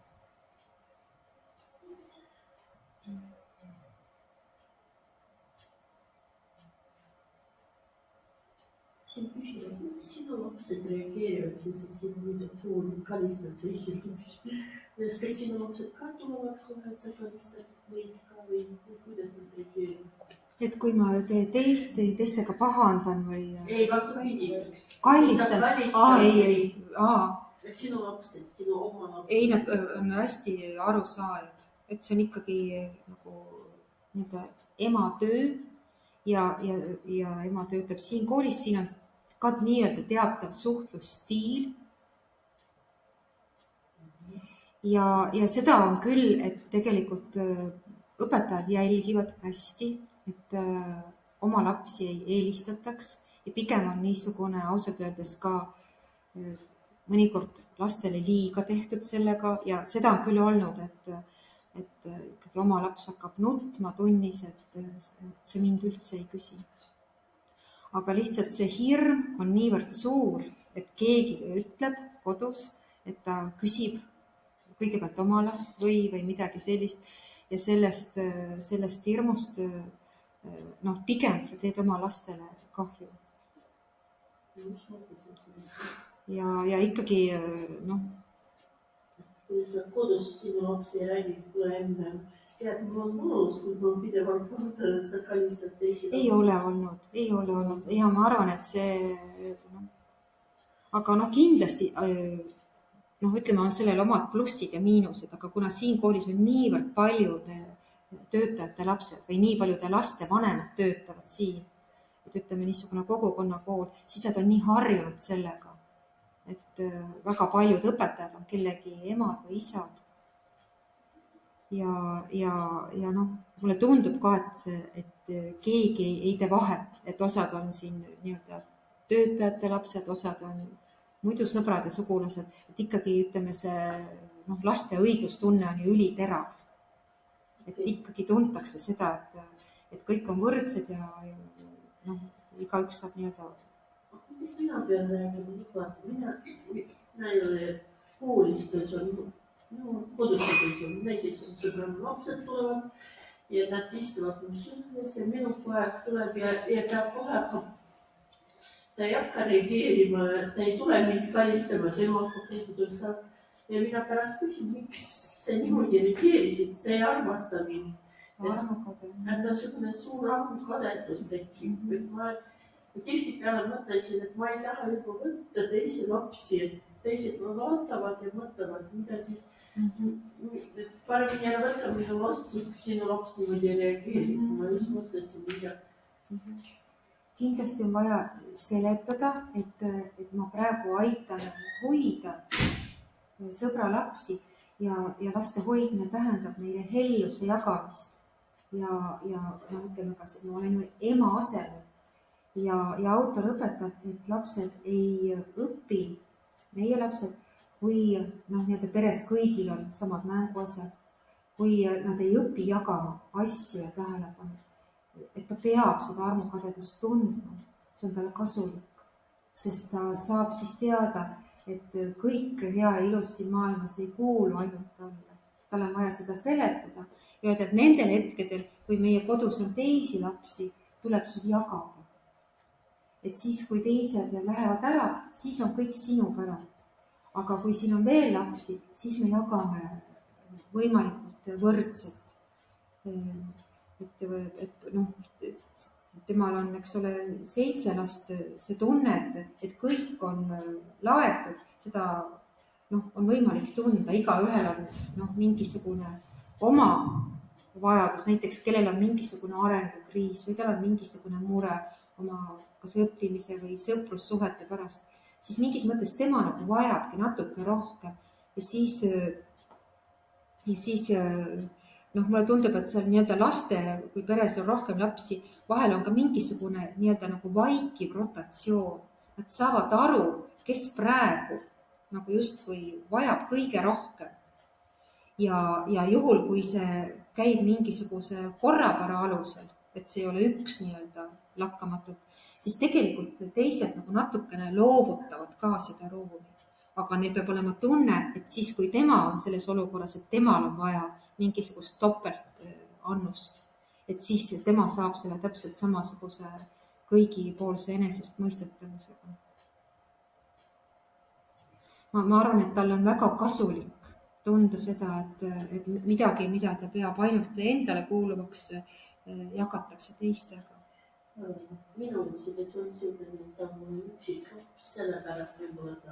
Tal on raske jagada, aga, aga ta õpib seda. sellistel hetkedel need tegelikult on talle kasulikud, et selline, see on tema võitluse hetk, seal õpib tema seda jagama teistega noh, aga kindlasti võib nii-öelda seletada. kas meil kell on jä- jäänud seisma seejärel või? Vabandust, ma mõtlesin lükata tagasi, oli pool seitse. see oli see ajahetk praegu tuleb ka olete nõus, et jätkame seitsmeni, nagu me oleme? kas soovite veel arutada midagi? Need on väga huvitav osa.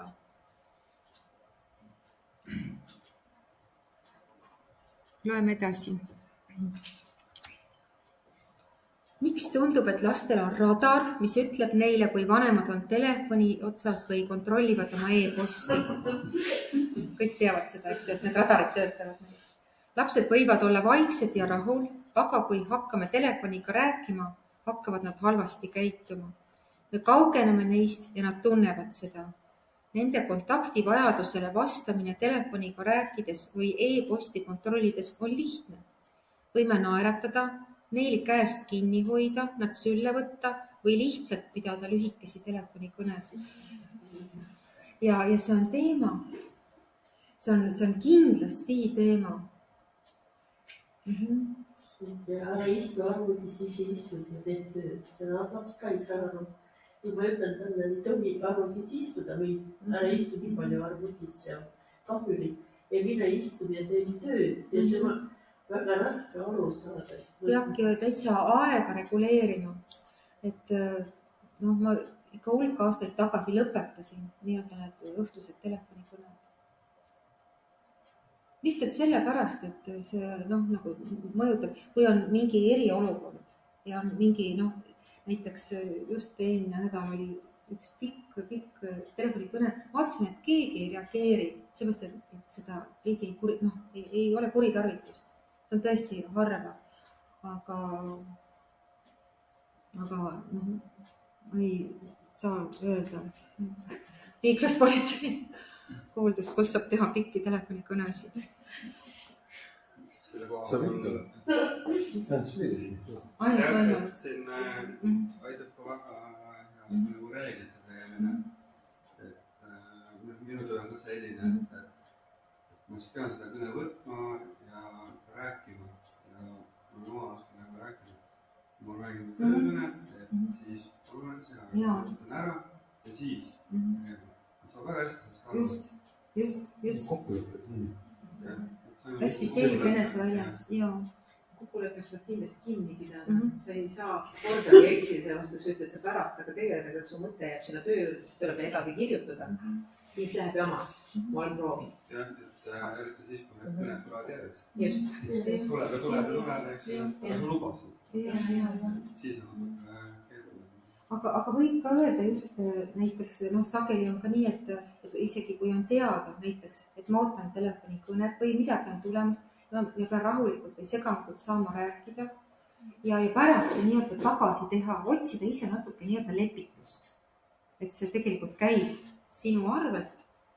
Et, et natukene siis noh, lapsed on ju noh, varmad andeks andma või nii-öelda selle, seda lepitust vastu võtma, aga et seda on õige kommunikeerida, selgelt välja öelda.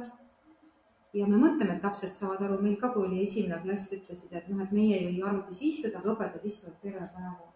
et siis ikkagi noh, öelda, et me teeme tööd ja need on tööasjad. Et, et me teisiti ei saa oma tööd teha, et noh, laste mõtlemine on niivõrd konkreetne ja see õigluse janu on niivõrd ülikõrge, et seda tuleb lihtsalt seletada ja kommunikeerida nii-öelda radarid on väga head, et äh, nad saavad kohe aru, teed tööd lobised mm. -hmm. Mm -hmm. täpselt nii. täpselt nii, õhkkond muutub muuseas selles kodus ka. Aga, aga ka minu arust energia muutub. et kui, kui teed tööasja, siis äh, on nagu see leplikkus ikkagi olemas. aga kui teed midagi, siis tegelikult äh, kõik saavad aru, et midagi on valesti. Ah? tullakse torkima juba. no loomulikult ja noh, paljud ütlevad ikkagi, et noh, et beebid hakkavad karjuma, kui näevad et ema võtab äh, tahvli välja. et see on juba tingitud refleks. Mitte, et ta vihkaks seda äh, telefoni või, või tahvlit, vaid äh, ta ei suuda olla ilma suhteta, ilma, ilma kontaktita. see on appikorje ja noh, muidugi sellest veel hullem on ainult üks asi, teate küll, mis et annad laps, lapsele oma ekraani. nii on. Asendusemu. aga mida see ajuga teeb ja siis, eks ole, tulevad kooli ja siis.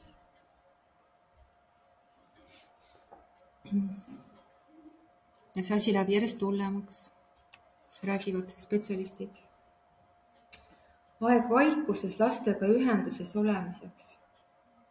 noh, see on nagu see niisugune,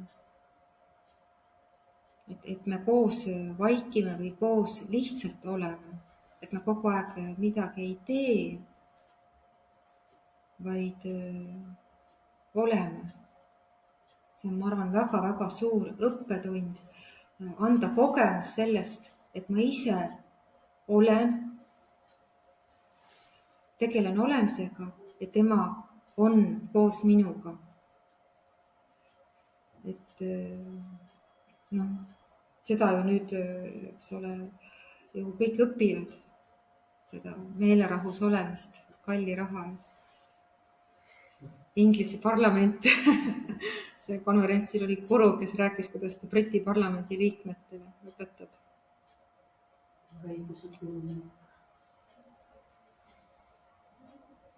aga noh, õpetame ise. miks? ah? lapsed avastasid, et pildil tuleb. noh, nad hakkasid seda toppima, selle hea moment, et kas nad teevad. muidugi sageli jälle seda keskmine täis või suurema pleki, et äkki õnnestub niimoodi. võrdlust no kõik need nii-öelda vahetud või ehedad kogemused, noh, kui laps tuleb õuest tuppa, on üleni porine. või noh, vihmaga või kuskil ükskõik, no midagi, mis on noh, millegi nii-öelda päris asjaga kokkupuude väga, väga hästi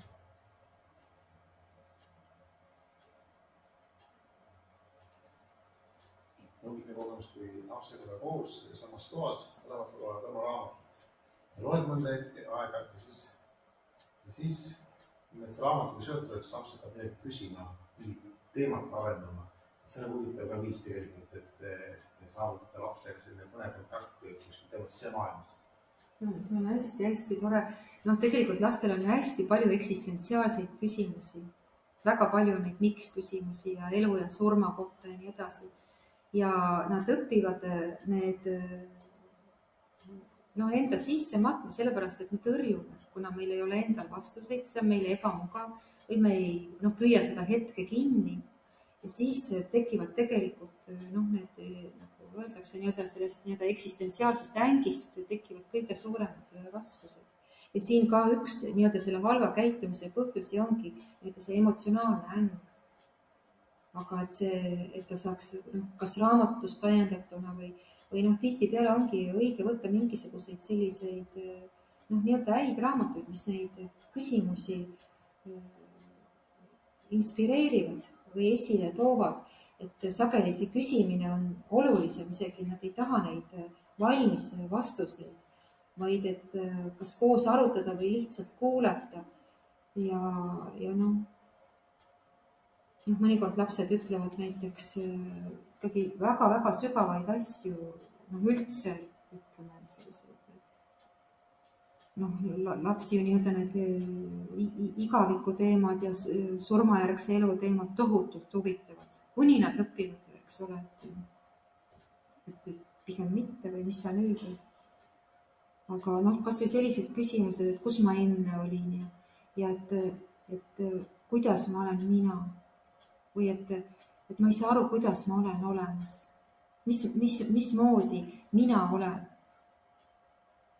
noh, need on tegelikult hästi-hästi noh, sügavad asjad ja ja nad tegelikult elavad läbi koolis tegelikult ka väga keerulisi olukordi. kasvõi noh, see, et kuhugi minnakse, keegi mu, kelle käest ma tahan kinni võtta, ei võtnud. on tegelikult kohutav draama. aga et ta saaks noh, kasvõi selle välja öelda või, või nutta või jagada, siin ei olegi midagi teha, aga lihtsalt selles koos noh, olla on hästi-hästi tohutult oluline.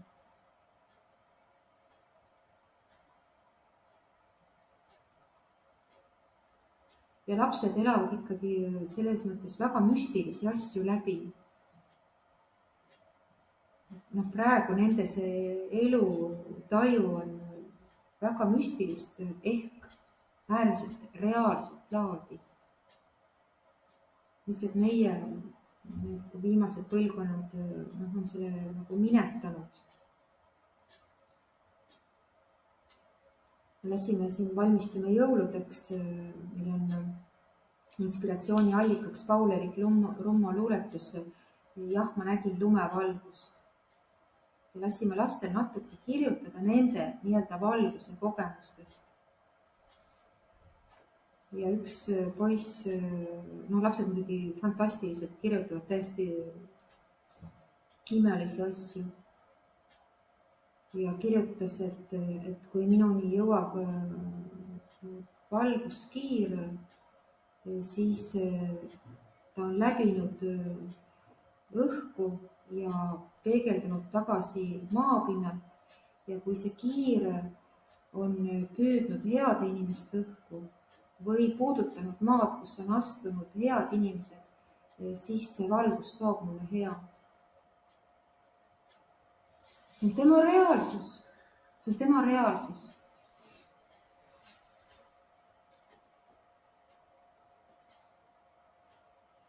aga noh, kas nad saavad seda jagada, kui me, eks ole, et noh, ma lihtsalt ütlesin, aga noh, võib-olla me peaks laskma kirjutada veel väga paljudest sellistest asjadest, sest noh, jällegi, mida ei toida, see kärbub.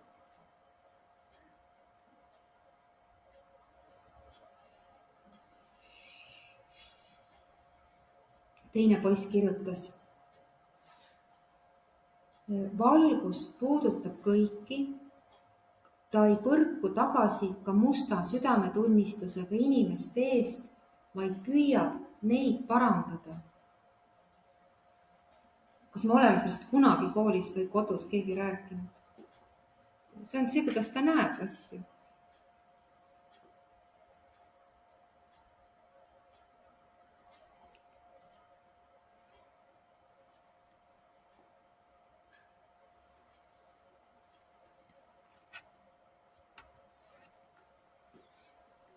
Väike õe või venna sündides hakkab vanem õde või vend tavaliselt halvasti käituma kuna kõik keerleb beebi ümber ja ta tunneb end eemale tõugatuna ja kõrvale jäetuna. noh, see on selge, eks ole, kui me praegu selles mõttes igalt poolt ju kuuleme, eks ole, et kõik inimeste hädad on seotud ainult, eks ole, kiindumus suhte kvaliteedist või kiindumushäirest, eks ole, nii nagu sinuga päris elu alguses ema käitus, nii see kõik determineerib ülejäänud elu. et selles mõttes see noh, veidi oleks noh, nagu võimalik sellega vaielda, aga see on nagu selge, et kui sünnib beebi, miks läheb kogu, eks ole, ema tähelepanu sinna, aga siin on, eks ole, keegi, kes siis seda tajub. ta soovib imikuga mängida ja ei mõista, miks see talle ei vasta. Parim vastus inetule käitumisele on keskenduda kontaktile vanema lapsega ning õpetada neid imikuga suhtlema andke vanemale lapsele võimalusi midagi issiga ette võtta ning laske tal aidata beebi eest hoolitseda.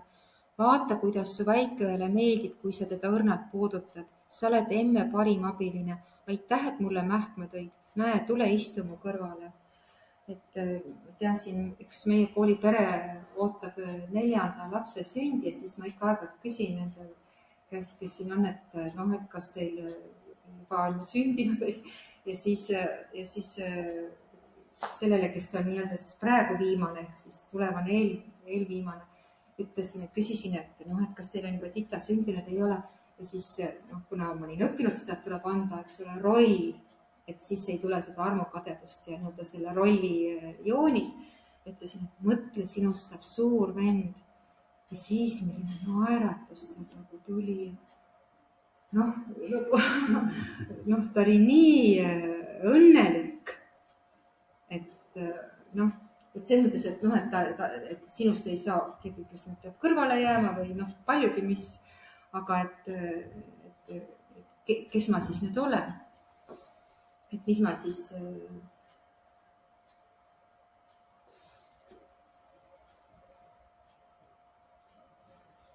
ja siis noh, teine asi oli veel, eks ole, et näiteks kui on mõni laps, kes on nii-öelda harjunud olema paha, et ta nii-öelda mina pilt on negatiivne, et ma olen paha laps, kes teeb pahasid asju. ja siis noh, samamoodi, eks ole, nägin ükskord, et ta tegi midagi väga õigesti ja siis lihtsalt kõrvalt ja läksin ka niiviisi metoodiliselt tema juurde ja ta juba vaatas, et nii, mis siit nüüd tuleb ja hakkasin rääkima, et ma nägin, mida sa tegid ja et küll see valmistas mulle rõõmu ja küll see oli õige ja see kõik. ja siis ta läks täpselt samamoodi õide ja siis ma kuulsin, kuidas ta niimoodi mõtles, et räägi seda veel, räägi seda veel ja siis ma juba nagu kõik sõnad kasutasin ära. ja ta nagu oli nii, et noh, ma soovin seda veel kuulda, hakkasin otsast peale ja lasin mitu-mitu tiiru lihtsalt, et talle nagu kinnitada seda äh, noh, nii-öelda seda positiivset pilti, sest äh, noh, ütleme, see oli niivõrd tugev soov noh, selle pisikese episoodi peale, aga selline nii-öelda soovikontsert. Kui lapsed käituvad halvasti, sest nad otsivad kontakti, on parim vastus minna nende ligi, astuda nendega kontakti, kõigepealt luua suhe ja meenutada neile, millist käitumist te sooviksite näha sõltumata sellest, mis põhjusel lapsed halvasti käituvad, peaks kontakti loomine olema kesksel kohal. või vastame ükskõik millisele halva käitumise ilmingule ja millest räägime selle raamatu ülejäänud osas. ta räägib, missugust siis seda halva, halva käitumise ilmingut on, et ükskõik, mis see on. eelmine kord me rääkisime, et noh, et löömine on alati löömine see tülitsemine on alati tülitsemine, aga oluline on leida, mis on see põhjus. võimalik, et praegu, vabandust väga, et Antil on jäänud mingisugune ports slaide vahele, aga see ei muuda ikkagi meie õhtut vähem tõhusaks, et me saame teinekord koos, sest see, mida ma nagu juba tükk aega ootan, ei paista tulevat. et, et me, me jäime ju pooleli selle juurde, mis on need halva käitumise erinevad põhjused. ja neid ei ole ju rohkem praegu tulnud noh, see, vabandust. vahet ei ole, et me saame eel-, noh, järgmine kord võtta eelmise vahepealse osa. Kontakti tugevdamine meie lastega tugevdab meie suhet nendega, aitab neil langetada häid otsuseid. et noh, selles mõttes nagu hästi selge retsept. mingi jama on. punkt üks, suhe ja, ja see võib ikkagi tähendada ka siis natuke nii-öelda nagu seda ootamist, kuni see asi võtab tuld või kuni suhe tekib, sest mõnikord ikkagi laps näiteks ta no, tahab mingit frustratsiooni või jonni või mingisugust noh, mossitamist või midagi, mille, midagi väljendada, siis see tuleb ära kanda. on üks ka hästi hea raamat, see Tingimusteta armastus. ja seal noh, on ka selge õpetus, et kõigepealt peab nii-öelda see tundeaku või, või energeetikaku olema laetud ja alles seejärel kõik muu.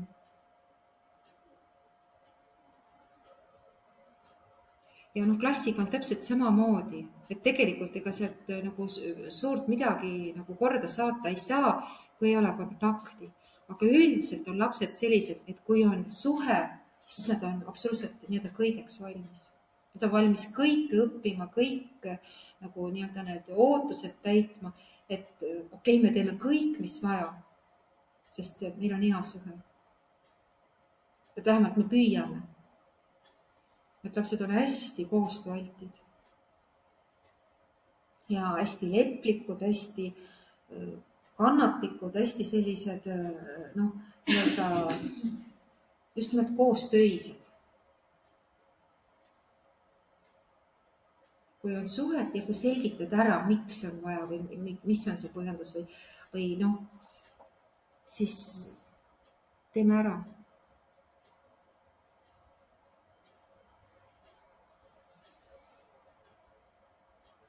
ja sageli ongi nii, et, et noh, et see nii-öelda see mitte koostöisus väljendub ikkagi mingisuguses noh, nad ei ütle ju, et ma ei, ei tee, vaid on mingisugune selline hoopis teistsugune keeldumine.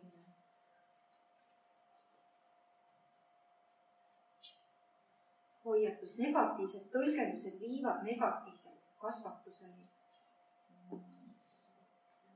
praktiliselt kaasaegne staarets Tadeusz Sergest, tal on kuulus raamat Meie mõtted on meie elu. mis ta ütles? hakkas ise elama. hakkas ise elama. ta kirjutab, et ta on loom. võtab meil nüüd välja ta ise. kuule, huvitav küll. just ära, see on alati nii, et need, nad tunnevad, kui perest tulevad. et aga huvitav, mitmendast slaidist sa üldse panid? Pooleli on üheksakümmend teine, üheksakümmend kaks. aa, siis me oleme lihtsalt väga aeglases tempos liikunud.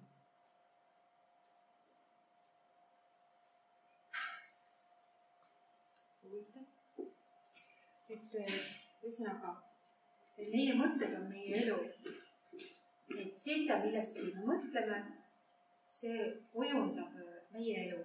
see tähendab, kui me mõtleme, et näiteks, et nii, ta kiusab mind. nii, tal on halbis elu. nii, ta elab kõik minu peal välja. ja ta nimetab negatiivseks tõlgenduseks ka, ta tahab tähelepanu. ta lihtsalt tahab tähelepanu. siis, siis selle äh, tulemus on halb kasvatus. mitte tulemus, vaid noh, nii-öelda protsess ja et, et äh, nagu me õpetajatele ütleme teeb seda nimelt ta saab väga hästi mis ta teeb.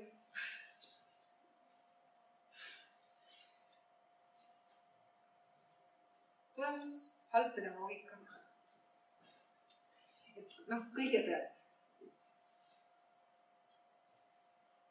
mõista seda asja.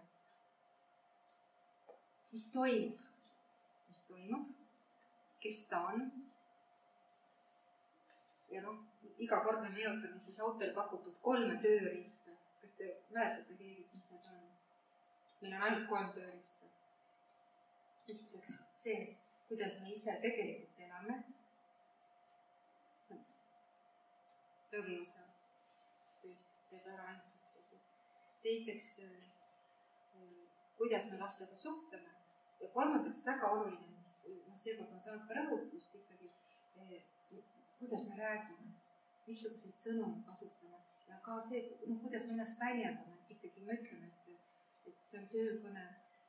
ma pean tegema tööasju. ma pean jagama, ma võtsin lapsed hoida, ma pean jagama neile helgust. et äh, nende ema arvestab sellega, et kui ma hoian tema lapsi, et nad saavad minu käest helgust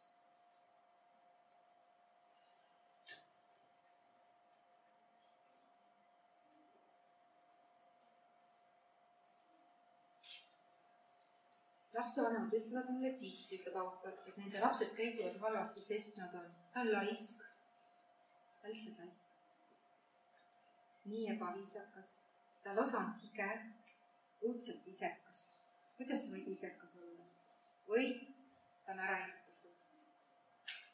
Need tõlgendused, mis tunduvad põhjendatuina, on tegelikult hinnangud, ja kriitika ning viivad negatiivse või kriitilise kasvatusviisini.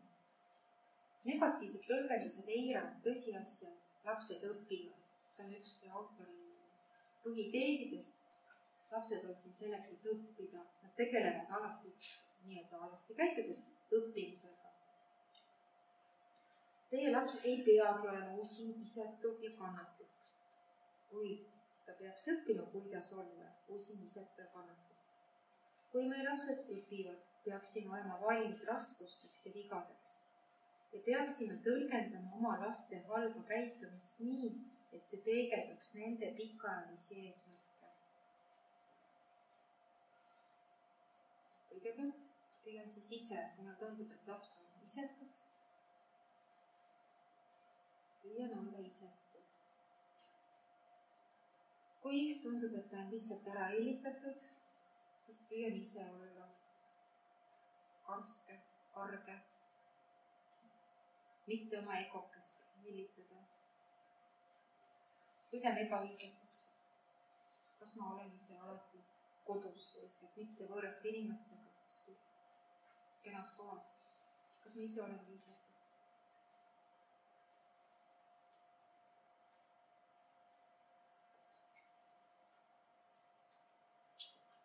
rangus on hea, kordab autor. hukkamõist ja kriitika on halvad.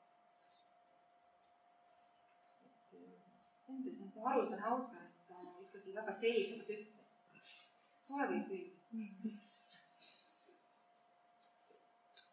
all ta peab silmas nii-öelda siis seatud piiride nii-öelda neile kindlaks jäämist ja järjepidev olemist, kõrgeid ootusi ja ka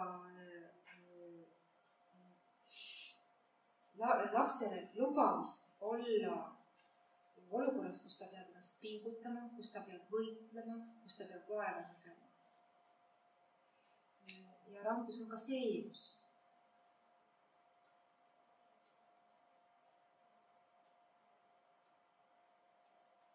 sellised reeglid, mis aitavad last kui me usume ka ise, et reeglid, mida me püüame ise järgida, on meile juhtnöörideks või mitte juhtnöörideks, vaid näiteks õlekõrteks või, või abinöörideks. või kui meie ise tunneme reeglitest, mida me püüame ise järgida. et need on meie nagu kargud või et me toetume neile. ja kui me oleme kindlad, et piirid, mis me oleme seadnud, on mõistlikud. ja nad ka, ütleme, võib-olla kui laps areneb muutuvad kui nad on just parasjagu turvalised.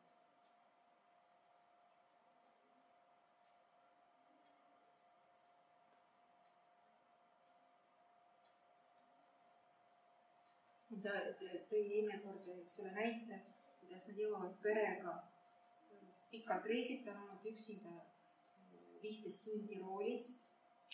ta tuleb koju, viskab prantsti ennast äh, voodisse ja sinna tulevad äh, tema tütred ja viskavad prantsti. ja ta ütleb, et äh, meie peres on reegel, et igaüks magab oma voodis. noh, muidugi lapsed ei liiguta toimegi.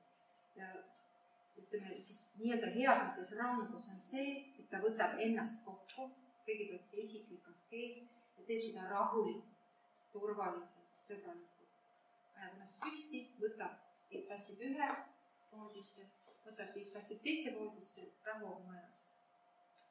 Tähtis on seda teha hästi, noh, meeldib. aga et see pingutus tuleb ikkagi nii-öelda tema poolt.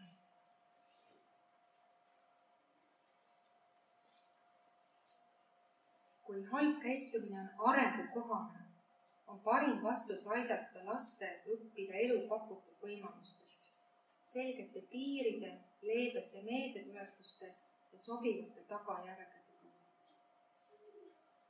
Noh, see, ütleme seesama seina peale sodimine või, või ütleme mingisugune, noh, mis iganes arengud sealt tekivad. kuskil noh, kolmeaastased kelgumäed, siin raamatus näide. et kui kõik tahavad korraga, mismoodi õpetada järjekorda võtma või noh, eks meilgi kuidas esimene klass võtab kätest kinni ja kuidas viies klass läheb sööma. Täitsa eri maailmad. ja selge on see, et mida maast madalamast on need selged piirid paigas, seda lihtsam on see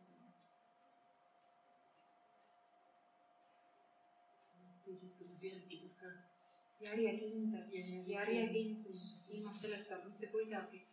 Ja, ja ütleme, et noh, et tuleb ära siis tunda, kui see nii-öelda halb käitumine, et see ei ole mitte midagi muud kui lihtsalt midagi nii-öelda arengulist.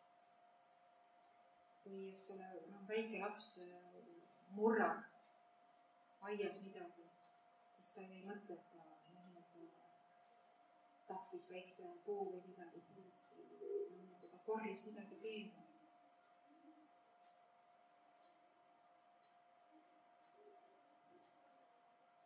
Väga palju mõelda sellele, et see, mida ta teeb, on tema vanuses normaalne.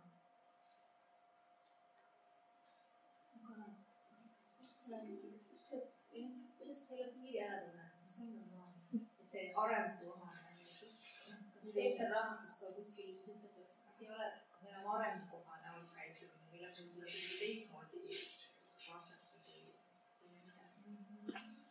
tähendab, ütleme nii, et, et ta käitub halvasti arengu tõttu, aga see käitumine iseenesest tegelikult on selline, mida on vaja korrigeerida.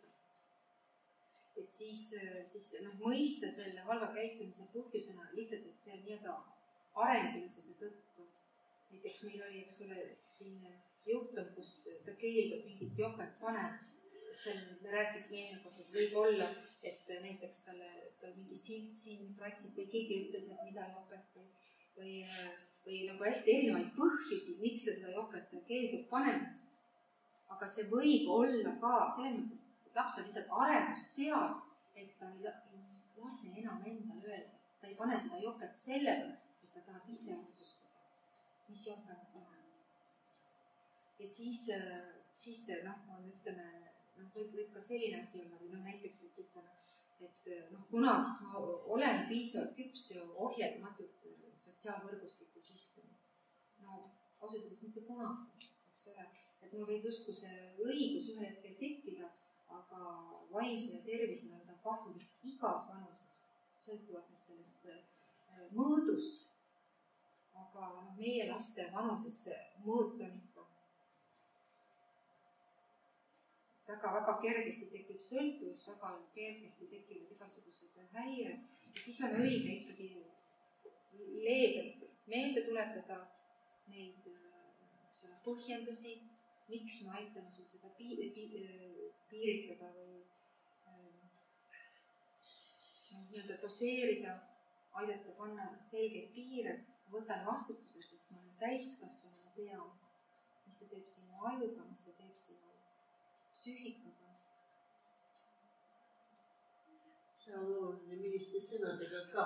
näiteks mul oli, mina ütlesin lapsele, et nad rinnal on need peenrad ja lilled, ärge jääge senki sinnapoole jalgrattaga. ütlesin võib-olla tuhat korda, mina, no hästi palju, pidevalt rääkisin. ja siis tuli naabri naine tuli välja ja ütleb, kuulge poissid, ärge tehke palun võtke sõitke sinna, siis te sõidate mu lilledega. Nendel on nii mõnus, ma tahan neid näha iga päev aknast, kuidas nad kasvavad. peale seda päeva, ühtegi päeva poisid läinud sinnapoole ja nüüd mõtlen sulle, vot see on see kunst, mina ütlen, ära sõida sinna, muidu naabri naine hakkab pahandama ja, ja mina hommikul, ma pidevalt ühte sama, ühte sama juttu rääkisin juba kaua aega, võib-olla aasta aega, no mitte iga päev muidugi ma ei mõtle, aga selles mõttes ma mõtlesin, milliste sõnadega, see on ka oluline. noh, need kolm olid, kuidas me elame, kuidas me suhtleme, mis selliseid sõnu kasutame ja noh, nii-öelda see mina sõnum, et noh, öelda midagi enda tunnete kohta või, või et noh, millel on valus või mul on valus. see on, noh, see on palju arusaadavam, see jõuab ära. just tunded, mitte mõtted mida keegi tunneb, et sellega nagu samastub laps rohkem seda, mida keegi mõtleb ja arvab. selle peale öelda, et inimesed võib alustada. et see on ka, see on kunst ka ja ma ka peab pidevalt õppima, et see vara peab olema siukene hoiakud või kuidas ma ütlen. see on väga õige, seepärast et me mõtleme, et me oskame, aga tegelikult me peame õppima. ja see on noh, väga tore. aga ärme nüüd kuritarvita. et paneme praegu punkti üsna ebaloogilise koha peale taaskord, aga noh, võtame seda selles mõttes, meil on niisugune freestyle asi, et lihtsalt loeme koos raamatut ja arutame.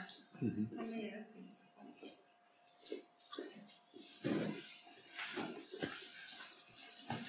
laulame lõpetuseks.